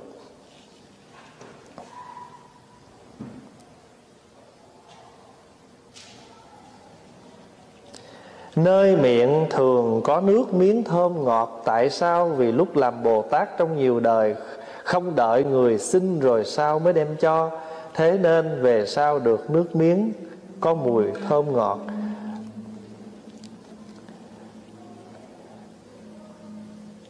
Tướng nhục kế và tướng lưỡi rộng dài, tại sao? Vì lúc làm bồ tát trong nhiều đời, chính mình không nói lời ác, cũng không dạy người khác nói ác nhục kế là đây nè, cái đỉnh này nè, cái đỉnh trên đầu mình đó à, có cái nhục kế cao đẹp đó không dạy người nói ác. Thế nên về sau được tướng phạm âm phạm âm chứ không phải phạm ấm nha. Đó, thí dụ chữ về mà nếu mà người không biết thì cứ đọc là phạm ấm. Còn mình biết thì mình đọc là phạm âm. Bởi vì âm đây là gì? Là âm thanh. Còn chữ phạm là gì? Phạm này là cõi trời phạm thiên á. Bởi vì người ấn độ á, họ tự hào họ là con của đấng phạm thiên cho nên cái tiếng của họ gọi là tiếng phạm. Mà mình bây giờ mình nói nói mình nói ờ, gọn lại là tiếng phạn đó. Mình nói tiếng phạn đó chứ nếu mà nó phát âm cho đúng phải nói là tiếng phạm. À, tại tiếng phạm là gì? Vì người ấn độ họ cho cái tiếng của họ là tiếng của cõi trời phạm âm. Họ tự hào con họ là con của đấng phạm âm cũng giống mình vậy đó. Tự hào là con gì? Con rồng cháu tiên vậy đó. Phải không? À, thí dụ vậy đó. Được tướng ấy rồi thứ lớp được con mắt trong xanh như mắt ngư vương. Hôm trước mình có nói đó tại sao? Vì lúc làm bồ tát trong nhiều đời dùng con mắt bình đẳng từ hòa xem kẻ oán người thân thế nên về sau được tướng ấy. Tức là mình nhìn mọi người không có cái không có con mắt phân biệt ví dụ á ai mà người ta vào chùa ta lễ phật thì mình cũng đều xem mọi người là bình đẳng. Chứ không phải mình thấy người đó quen cái mình chạy thì mình tiếp. Không quen thôi kệ rồi đi. Không phải vậy. Vì lúc bồ làm bồ tát dùng con mắt bình đẳng ha, coi kẻ oán người thân như nhau được tướng ấy rồi thứ được tướng bạch hào. Vì sao? Vì lúc làm bồ tát trong nhiều đời giảng nói chánh pháp chân thật không hư dối. Tướng bạch hào tức là có cái cái lông trắng ở chặng mài đây thường là có phật có. Vì lúc làm bồ tát trong nhiều đời giảng nói chánh pháp vô kiến đảnh. Tại sao? Vì lúc làm bồ tát. À, trong này ghi là bồ tát đó. Trong nhiều đời cúi đầu đảnh lễ các bậc hiền thánh sư trưởng cha mẹ tôn trọng cung kính cúng dường thế nên về sau được tướng vô kiến đảnh. À, tại sao vậy? Vô kiến đó là cái tướng không thể thấy. Tại vì mình hay lấy cái đầu của mình cung kính người khác. Thí dụ mình gặp người khác mình cung kính. Cho nên pháp hòa thưa với đại chúng á mình gặp một cái người đồng tu với nhau hay là chư tăng, chư ni, chắp tay xá chào. Dù thân thiết cỡ nào, nhưng mà lần đầu tiên mình bước tới, thí dụ phật tử đi chùa cũng vậy, bước vô cái gặp quý thầy hàng ngày mình gặp quý thầy, nhưng mà giữ cái lễ, để đồ đạc xuống rồi cầm. Hôm rồi có cái chị đó, chị cầm đôi dép, chị xuống chị để cái pháo quả, đâu đi tới cái chị cầm nguyên đôi dép chị xá ngày hôm qua có một đứa nó mới vô khóa tu á. Cái nó bước vô cửa nó đang cầm cái chai nước mà cái chai nó bự vậy nè. Cái phong hòa mới ngoắt nó lại và nói con lại chào mấy thầy con. Mà nó nó người hoa nó người tàu nó không biết tiếng việt. Cái nó lại cái nó, nó, nó tới nó gặp quý thầy cái nó nó muốn chào nó không biết sao. Nó tại tay nó cầm chai nước kẹp ngay hai chân nó. Ờ, để nó kẹp cái chân ngay hai cái cái cái cái cái, cái gì cái bình nước ngay chân nó hai chân nó rồi nó mới có cái tay nó cầm quý thầy quý thầy đáp lễ mà quý thầy tức cười. Thì qua đó là khi mình, thường thường mình gặp cái mình hốt quản vậy đó, mình biết làm gì. Rồi có nhiều khi mình gặp quý thầy cái, hai thầy, không hay là sơ sơ, nhưng mà mình tập tập có cái tâm cung kính đối với bạn đạo, đối với chư tăng. Đó. cho nên vừa rồi đó Pháp Hòa có nói với quý cô, quý chú như vậy, tất cả chư tăng, chư ni nào trong đời này mình được gặp thì mình cứ mình cứ phát tâm, mình gieo duyên, chăm sóc. Thì tại sao, vì đời nào, kiếp nào mình cũng được gặp những cái hình ảnh của tăng để nhắc nhở mình. Bản chất, bản thân cái vị đó có tu không tu mình không có biết. Tại ai tu thì nấy biết chứ, phải không? Nhưng mà tự tâm của mình phải khởi lòng cung kính, chăm sóc. Cho chư tăng, đời nào mình cũng không có mất cái duyên đó đó, quý vị thấy có nhiều người ở đời này gặp hình ảnh của chư tăng một lần mà được đi tu. Chẳng hạn như thái tử sĩ đạt ta, tức là đức phật của mình đó. Đi dạo bốn cửa thành, thấy người già, người bệnh, người chết. Đến cái cửa thứ tư ngài gặp một người tu. Ngài mới hỏi cái người đó là ai vậy? Thì người hầu sa nặc mới nói dạ thưa thái tử, người đó là sa môn. Ấn độ gọi là sa môn. Hỏi sa môn là gì? Sa môn là những người từ bỏ hết những cuộc đời xa hoa bình thường và trở lại họ sống một cuộc đời giản dị, trao dồi sự tu hành. Tôi có được làm sa môn không? Dạ ai cũng có thể được. Và từ đó, thái tử sĩ đạt ta nuôi cái hình ảnh đẹp của vị sa môn đó trong đầu. Đa số các thầy mà đi tu là nhờ đi chùa gặp hình ảnh của chư tăng mà phát tâm tu hồi nhỏ đó, pháp hòa nhờ ông ngoại mất. Rồi mới mời một thầy đó đến tụng kinh. Mà thầy đó đó, thầy tụng bằng tiếng phạn. Nghe cái âm tụng kinh tiếng phạn thích quá đi, rồi nuôi cái hình ảnh đó. Rồi sau lớn lên được chút xíu nữa rồi đi chợ, thấy các sư ôm bình bát, đi khất thực ở ở bên đường cái hình ảnh nó đẹp. Rồi thấy các thầy mặc cái y cái hậu á, vàng cái tay rộng thích lắm. Thậm chí đến mức độ là về nhà lấy hai cái ống quần chọt vô tay cầm phất phất vậy mê cái áo đến nứt như vậy. Cho nên hồi nhỏ mà đi tu nói ngày nào mà tôi được mặc cái áo tôi phải mai cho thiết là ra rộng dài để mặc thích rồi thấy mấy thầy mà ta mặc cái áo tay rộng nó thích quá đi rồi về mình đâu có cái áo tay rộng đó mặc đâu thì chỉ có cái quần.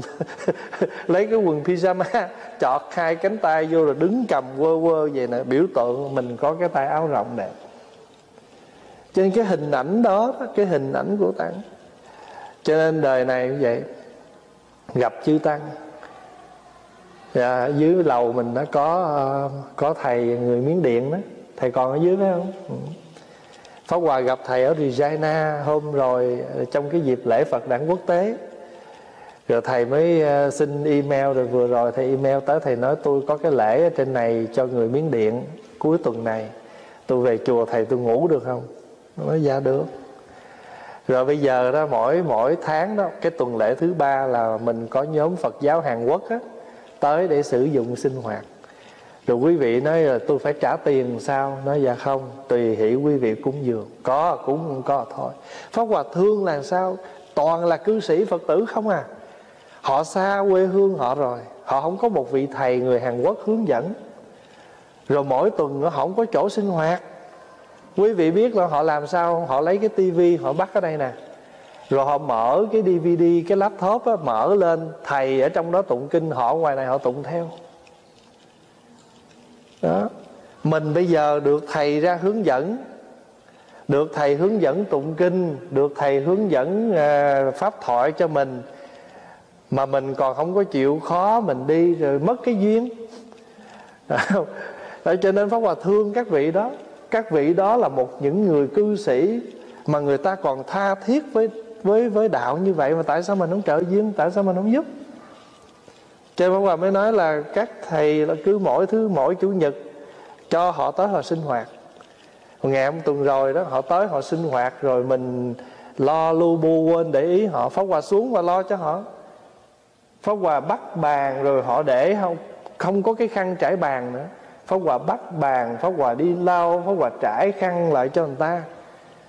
Mình cho người ta mượn, nhưng mà mình để tâm chăm sóc chứ không phải nói kệ họ họ muốn làm gì làm. Sao được vậy? Rồi mai mốt mình đi tới đâu người ta cũng dục cho mình chén cơm này ăn đi, ăn giọng gì đi, chỗ khác đi, phải không? Mình không có để cái tâm, mình cho người ta mượn cái chỗ mà phải để cái tâm cho người ta. Dù tới rồi quét bàn, học, nếu mình không có mặt thôi. Nhưng mình có mặt, mình là những người, cái chùa này như của mình đi, tạm thời mình nói người việt là của mình đi. Đó rồi mình tới mình thấy à cái chai đường nó dơ quá mình ta sử dụng lau quét cho nó sạch. Sắp ghế hôm qua tuần rồi ai thấy cái chuyện đó, đó rồi không phải qua nói là Pháp Hòa nhắc vậy để đại chúng nhớ là cái gì gọi là mình kết duyên. Mình không có kết duyên với người ta Thí dụ Phật tử ở các nơi tới cũng vậy Mình phải chăm sóc người ta. Chứ không phải là mình bỏ lơ người ta Cái chỗ ăn, chỗ ngủ mình phải lo. Rồi mình gieo cái duyên đó Rồi mai mốt mình lỡ mình đi tới Mình đi chùa người khác người ta cũng chăm sóc mình vậy.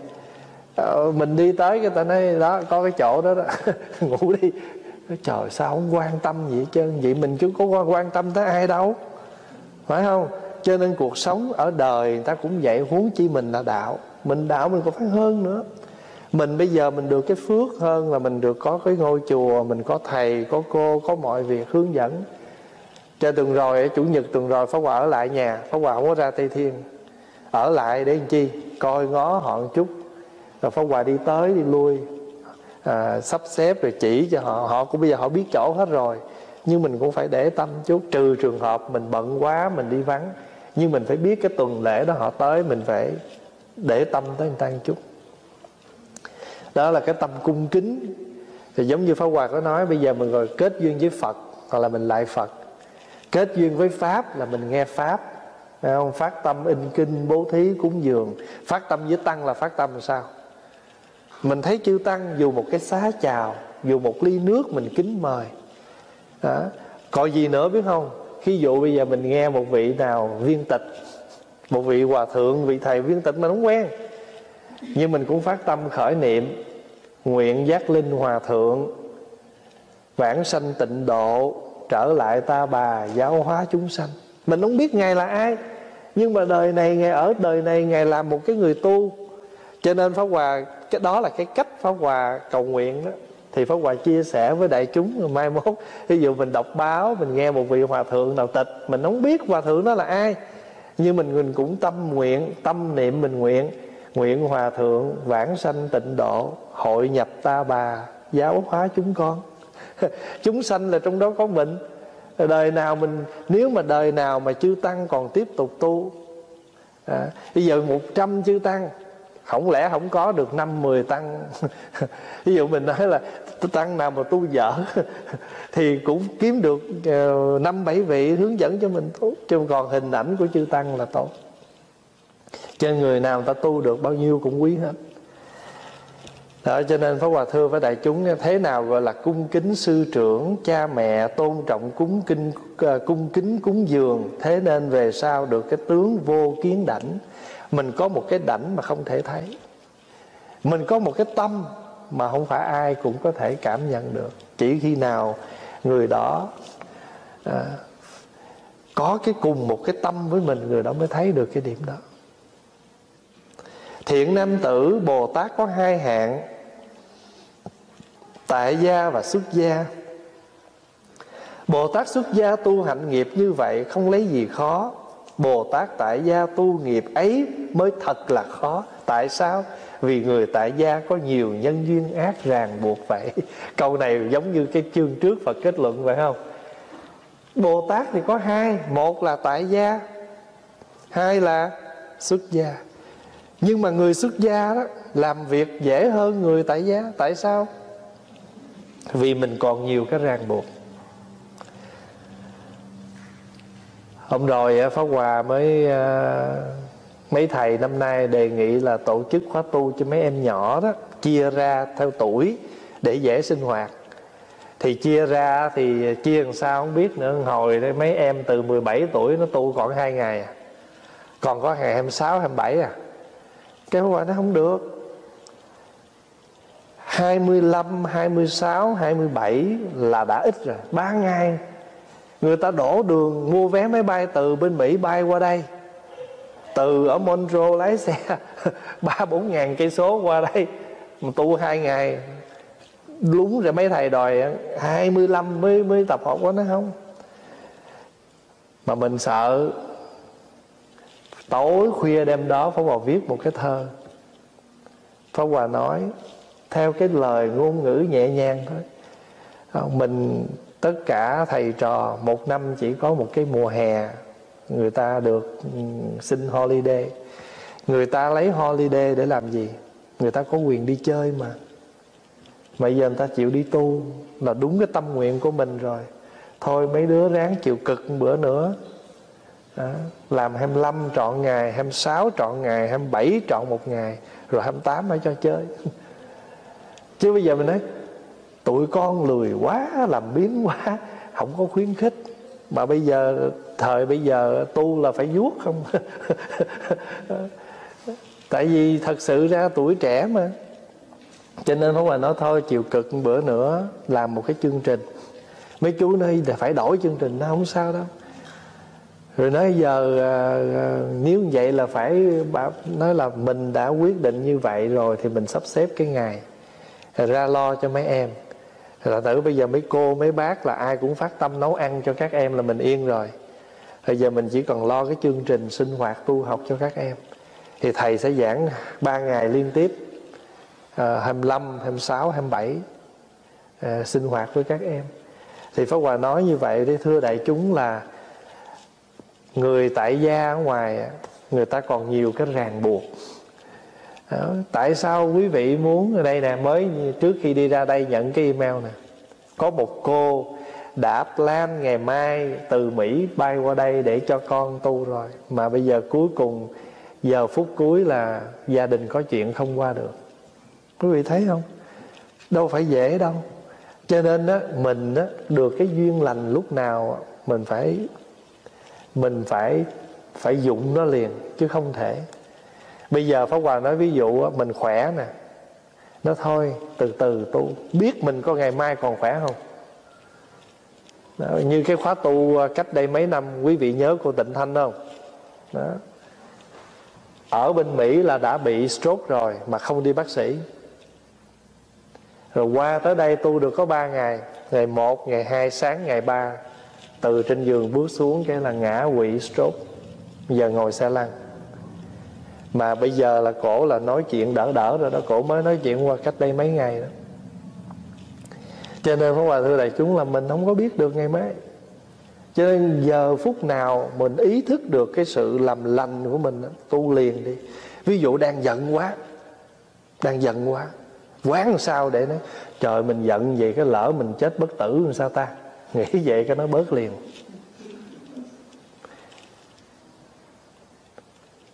Quý vị biết không, có nhiều phật tử tâm sự với pháp hòa con biết con làm cái điều đó sai mà con không có thắng được cái tình cảm của con đối với người đó. Con biết cái con làm là cái người đó đã có gia đình mà con cũng có gia đình mà giờ con quan hệ tình cảm với người đó mà con con biết cái điều đó sai mà con không biết làm sao con thắng được. Bây giờ con mong thầy giúp cho con. Mà khổ một cái nữa đó mà nó đời nó ngộ lắm nha. Hồi lúc cái người đó mà đi theo tán tỉnh mình mình ghét lắm. Mà người đó người ta lo lắng người ta tán riết cái, cái rồi thương. Mà tới hồi thương thương đáo để luôn. Hồi xưa ghét nhiêu bây giờ thương nhiêu tới hồi mà thương được người đó rồi cái người đó bỏ. Cái Pháp Hòa mới chỉ cho cái cách quán. Pháp Hòa mới nói giờ quán gì nè. Biết cái này là sai. Mà bây giờ họ rời khỏi mình như vậy Là họ giúp cho mình dừng nghiệp lại. Nếu mình tiếp tục Biết sai mà tiếp tục nữa là Nếu mà họ còn thương mình Thì nghiệp của mình càng tiếp tục. Bây giờ họ không thương mình nữa, Họ bỏ rơi mình. Thì mình phải mừng là mình Dễ dứt nghiệp hơn, Là mình dây dưa được tuần lễ sau gọi qua, con cảm ơn thầy. Trong lòng con bây giờ nó nhẹ hơn nhiều lắm, tại vì thầy chỉ con cách quán. Là thưa đại chúng, quý vị hay nghe nó quán quán hoài. Tu là phải quán bây giờ quán sao? Quán vậy đó. Như nãy pháp hòa ví dụ, cái người đó giận la là nơi người đó đang có cái dở. Họ dở cái khẩu, họ dở cái tâm. Rồi bây giờ mình giận theo cái lời dở của họ là mình, tâm mình cũng dở luôn. Mình học phật mấy chục năm, quý vị nghe cái bài kinh phật nói, lấy lành thắng dữ không? Đó. thí dụ như bây giờ nói, ngày hôm nay gia đình mình bất an quá, mình phải lấy lại, nhớ lại. Ủa, tại sao tháng rồi mình vui quá mà tại sao tháng này mình bất an? Tự là vì tháng này đó, mình thất nghiệp nè, mình không có đủ tiền chi nè, cho nên mình hay quạo nè. Nó có cái nguyên do. Tiền nhiều, cái tình lớn à. Nụ cười lớn à. mà hãy mà thiếu tiền đó là bực bội. Rồi mình bực bội rồi mình la, mình hét, rồi mình quên quán chiếu mình quên quán chiếu là bây giờ gia đình mình có, chỉ có một người đi làm. Mà thường thường các ông chồng mà thất nghiệp mà ở nhà đó, thường hay quạo lắm. Tại vì tự nhiên nghĩ bây giờ mình phải vợ lo đi làm cho mình. Cho nên người vợ cũng phải sao? Phải tế nhị. Nhiều khi đưa tiền chồng xài mà phải tế nhị nữa đó. Không khéo, chồng tự ái, có chuyện nữa. Cho nên cuộc sống là gì? Mình phải quán là tu thiền chứ gì đâu. Quý vị hay nghe nói ngồi thiền ngồi thiền là ngồi tịnh, mỗi tối mình tụng kinh mình ngồi tịnh đó. Nhớ không? Mỗi tối mình tụng kinh xong mình ngồi ba chục phút mình tịnh, nó tịnh để làm chi? Để cái tâm mình nó lắng xuống. Lắng xuống rồi mình sẽ thấy à việc gì mình nên làm, việc gì mình nên nói. Nhiều khi á, trong gia đình của mình, hồi xưa giờ chồng mình lúc nào cũng đi làm về lo cho gia đình, đùng một cái ông thất nghiệp hồi xưa giờ ông đóng vai chủ mà. Bây giờ ông ông thất nghiệp qua nhà. Cái ông phải ông thấy ông nấu cơm cho mình dọn dẹp. Rồi mình đi về cái một hai tháng sau kéo dài cả năm ông có việc làm. À, ông có việc làm cái bắt đầu ông sanh cái tâm mà gọi là bực bội là gì? Mình bây giờ là phải sống nhờ vợ nhờ con ví dụ vậy. Cho nên đôi khi phải tế nhị cái đó. À, rồi nó nhiều chuyện ở trong cuộc sống lắm. Mà như nãy vậy đó dẹp cái gai góc dù miếng rác nhỏ. Cho nên nhiều khi phao thưa đại chúng pháp hòa muốn nói mấy chú ở trong chùa và cũng phải suy nghĩ đó. Phải lựa lúc nói là chứ không phải lúc nào mà muốn nói thì nói đâu à. Đó, không phải là dễ đâu. Tại vì sao? Mình phải nói trong cái, cái hoàn cảnh nào để cho các thầy cảm nhận được cái điều mình muốn nói. Mặc dù mình làm thầy mình có quyền nhưng mà pháp hòa không muốn vậy. Cái quyền á nó không có làm cho con người mình được cái gì hết á mà chính ở cái tâm của mình. Mình, bây giờ cái cái tâm mình muốn vậy, mà mình dụng cái quyền là nó trở cái tâm mình muốn vậy, thì mình hãy dụng cái tâm mình nói. Cho nên là nhiều chỉ cái chuyện nhỏ như là nói là mấy chú, mấy thầy thêm ngày tu cho mấy đứa nhỏ thôi. Phật cũng là lựa lúc nói. Chứ mình nói mà dưới cái cái cái cái cái chuyện mà quyền quy của mình thì cái chuyện đó nó dễ rồi, nhưng mà không bao giờ nó cảm phục được người ta. Bất quá người ta làm là người ta sợ cái quyền của mình thôi nhưng mà cuộc đời này mình quyền được bao nhiêu? Và mình có bao nhiêu quyền và có bao nhiêu lực? Không? Thành thử ra mà là đời không? Thí dụ như cái ông thừa tướng, ông ra quyền, ra oai với mình mà ông tới trước mặt ông vô cái ông không núm. Đời nó vậy. Thành thử ra mình trên một người mà đôi khi mình phải cúi hạ mình với người khác, cho nên cái quyền đó nó cũng chỉ tạm nhiều lúc Pháp Hòa muốn nói với mấy chú gì Pháp Hòa lựa lúc nào Nhiều khi thầy trò trên đường đi Ra phi trường mà nói à, Có cái thời gian nói Rồi đem một câu chuyện nào đó dẫn ra Rồi mới nói chứ không phải khơi khơi nữa. Trong cuộc sống của mình là vậy Nhiều khi mình muốn nói con cái của mình Muốn nói chồng, muốn nói vợ gì đó Đôi lúc mình cũng phải để ý cái cảm nhận của người đó Chứ không phải muốn nói gì nói à. Cái đó gọi là gì? Bố thí ái ngữ, lợi hành, đồng sự, tứ nhiếp pháp. Mình muốn làm cho người ta cảm nhận trở về với mình mình phải có bốn cái pháp đó. Nói sao mà người ta dễ chịu cũng là bố thí đó. Bố thí sự vui vẻ, hài hòa cho người. Bố thí. Ái ngữ. Ái ngữ là nói sao ta nghe ta dễ chịu. Thôi thì à, tối hôm nay mình à, học hết cái chương này thì nói chung là cái chương thứ sáu này à, chỉ à, chỉ nói chung quanh ở trong cái vấn đề 32 cái tướng tốt của một vị Phật. Và thưa đại chúng 32 tướng tốt này không phải tự nhiên mà có, Hay là mình là tại vì mình con trời mà có, Mà do tu. Thí dụ như Đức Phật tự nhiên sanh ra có được như vậy á, Thì mình nói là Phật con bề trên thì được vậy đúng rồi. Phải không? Nhưng mà Phật nói lại là tôi do tu. Tu hạnh này hạnh này mà được thì bây giờ mình nói, ô, phật tu mà phật được thì con tu con sẽ được. Quý vị đọc lương hoàng sám, quý vị thấy không? Cái quyển hai, quyển cuối là lại thế mà thế cho cha mẹ quá khứ, cha mẹ hiện đời, thế lại thế cho chủ của mình. Lại thế cho người người làm mình khổ đủ thứ đó. mình phải lại thế đó tại sao? Oán thù mà không hết, không có giải rồi thì gặp rắc rối hoài à, cho nên đời này ráng sao? Đừng có gieo thù chuốc quán. Pháp hòa hay tâm niệm với câu ở trong đức phật thầy tây an á, ngài có một cái bài thơ à, hay lắm mà 10 là 10 điều ngài dạy. Trong đó có một câu điều thứ nhất thầy khuyên nên nhớ lòng trung kiên muôn thuở còn nêu. Dù ai nặng nhẹ trăm điều quyết không bỏ lý cao siêu của thầy. Nhiều thử thách đang vây con đó, nếu nản lòng, công khó tiêu tan. Việc chi còn ở trần gian là còn huyễn hoặc chớ mang vào lòng. Trên đời này, việc gì còn cõi đời này là huyễn hoặc? Trong đó có một câu, giữ làm sao thêm bạn bớt thù. Từ nay con nhớ rằng tu, hạ mình nhận lỗi, mặc dù rằng không. Mà được như vậy thôi không có phải là mình làm vậy rồi mình sống vậy cái mình uh, tiêu cực mình yếm thế không phải vậy. Nhưng mà có những lúc thôi kệ mình nhịn cho nó yên à. À, mình nói cái nó bung mà bung rồi rốt cuộc mình cũng hốt cho ai hốt.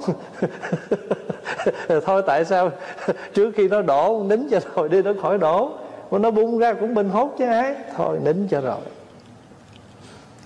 à, chúc đại chúng à, cuối tuần được vui khỏe ha. Rồi à, tuần sau mình gặp lại. Nguyện à, đem công đức này à,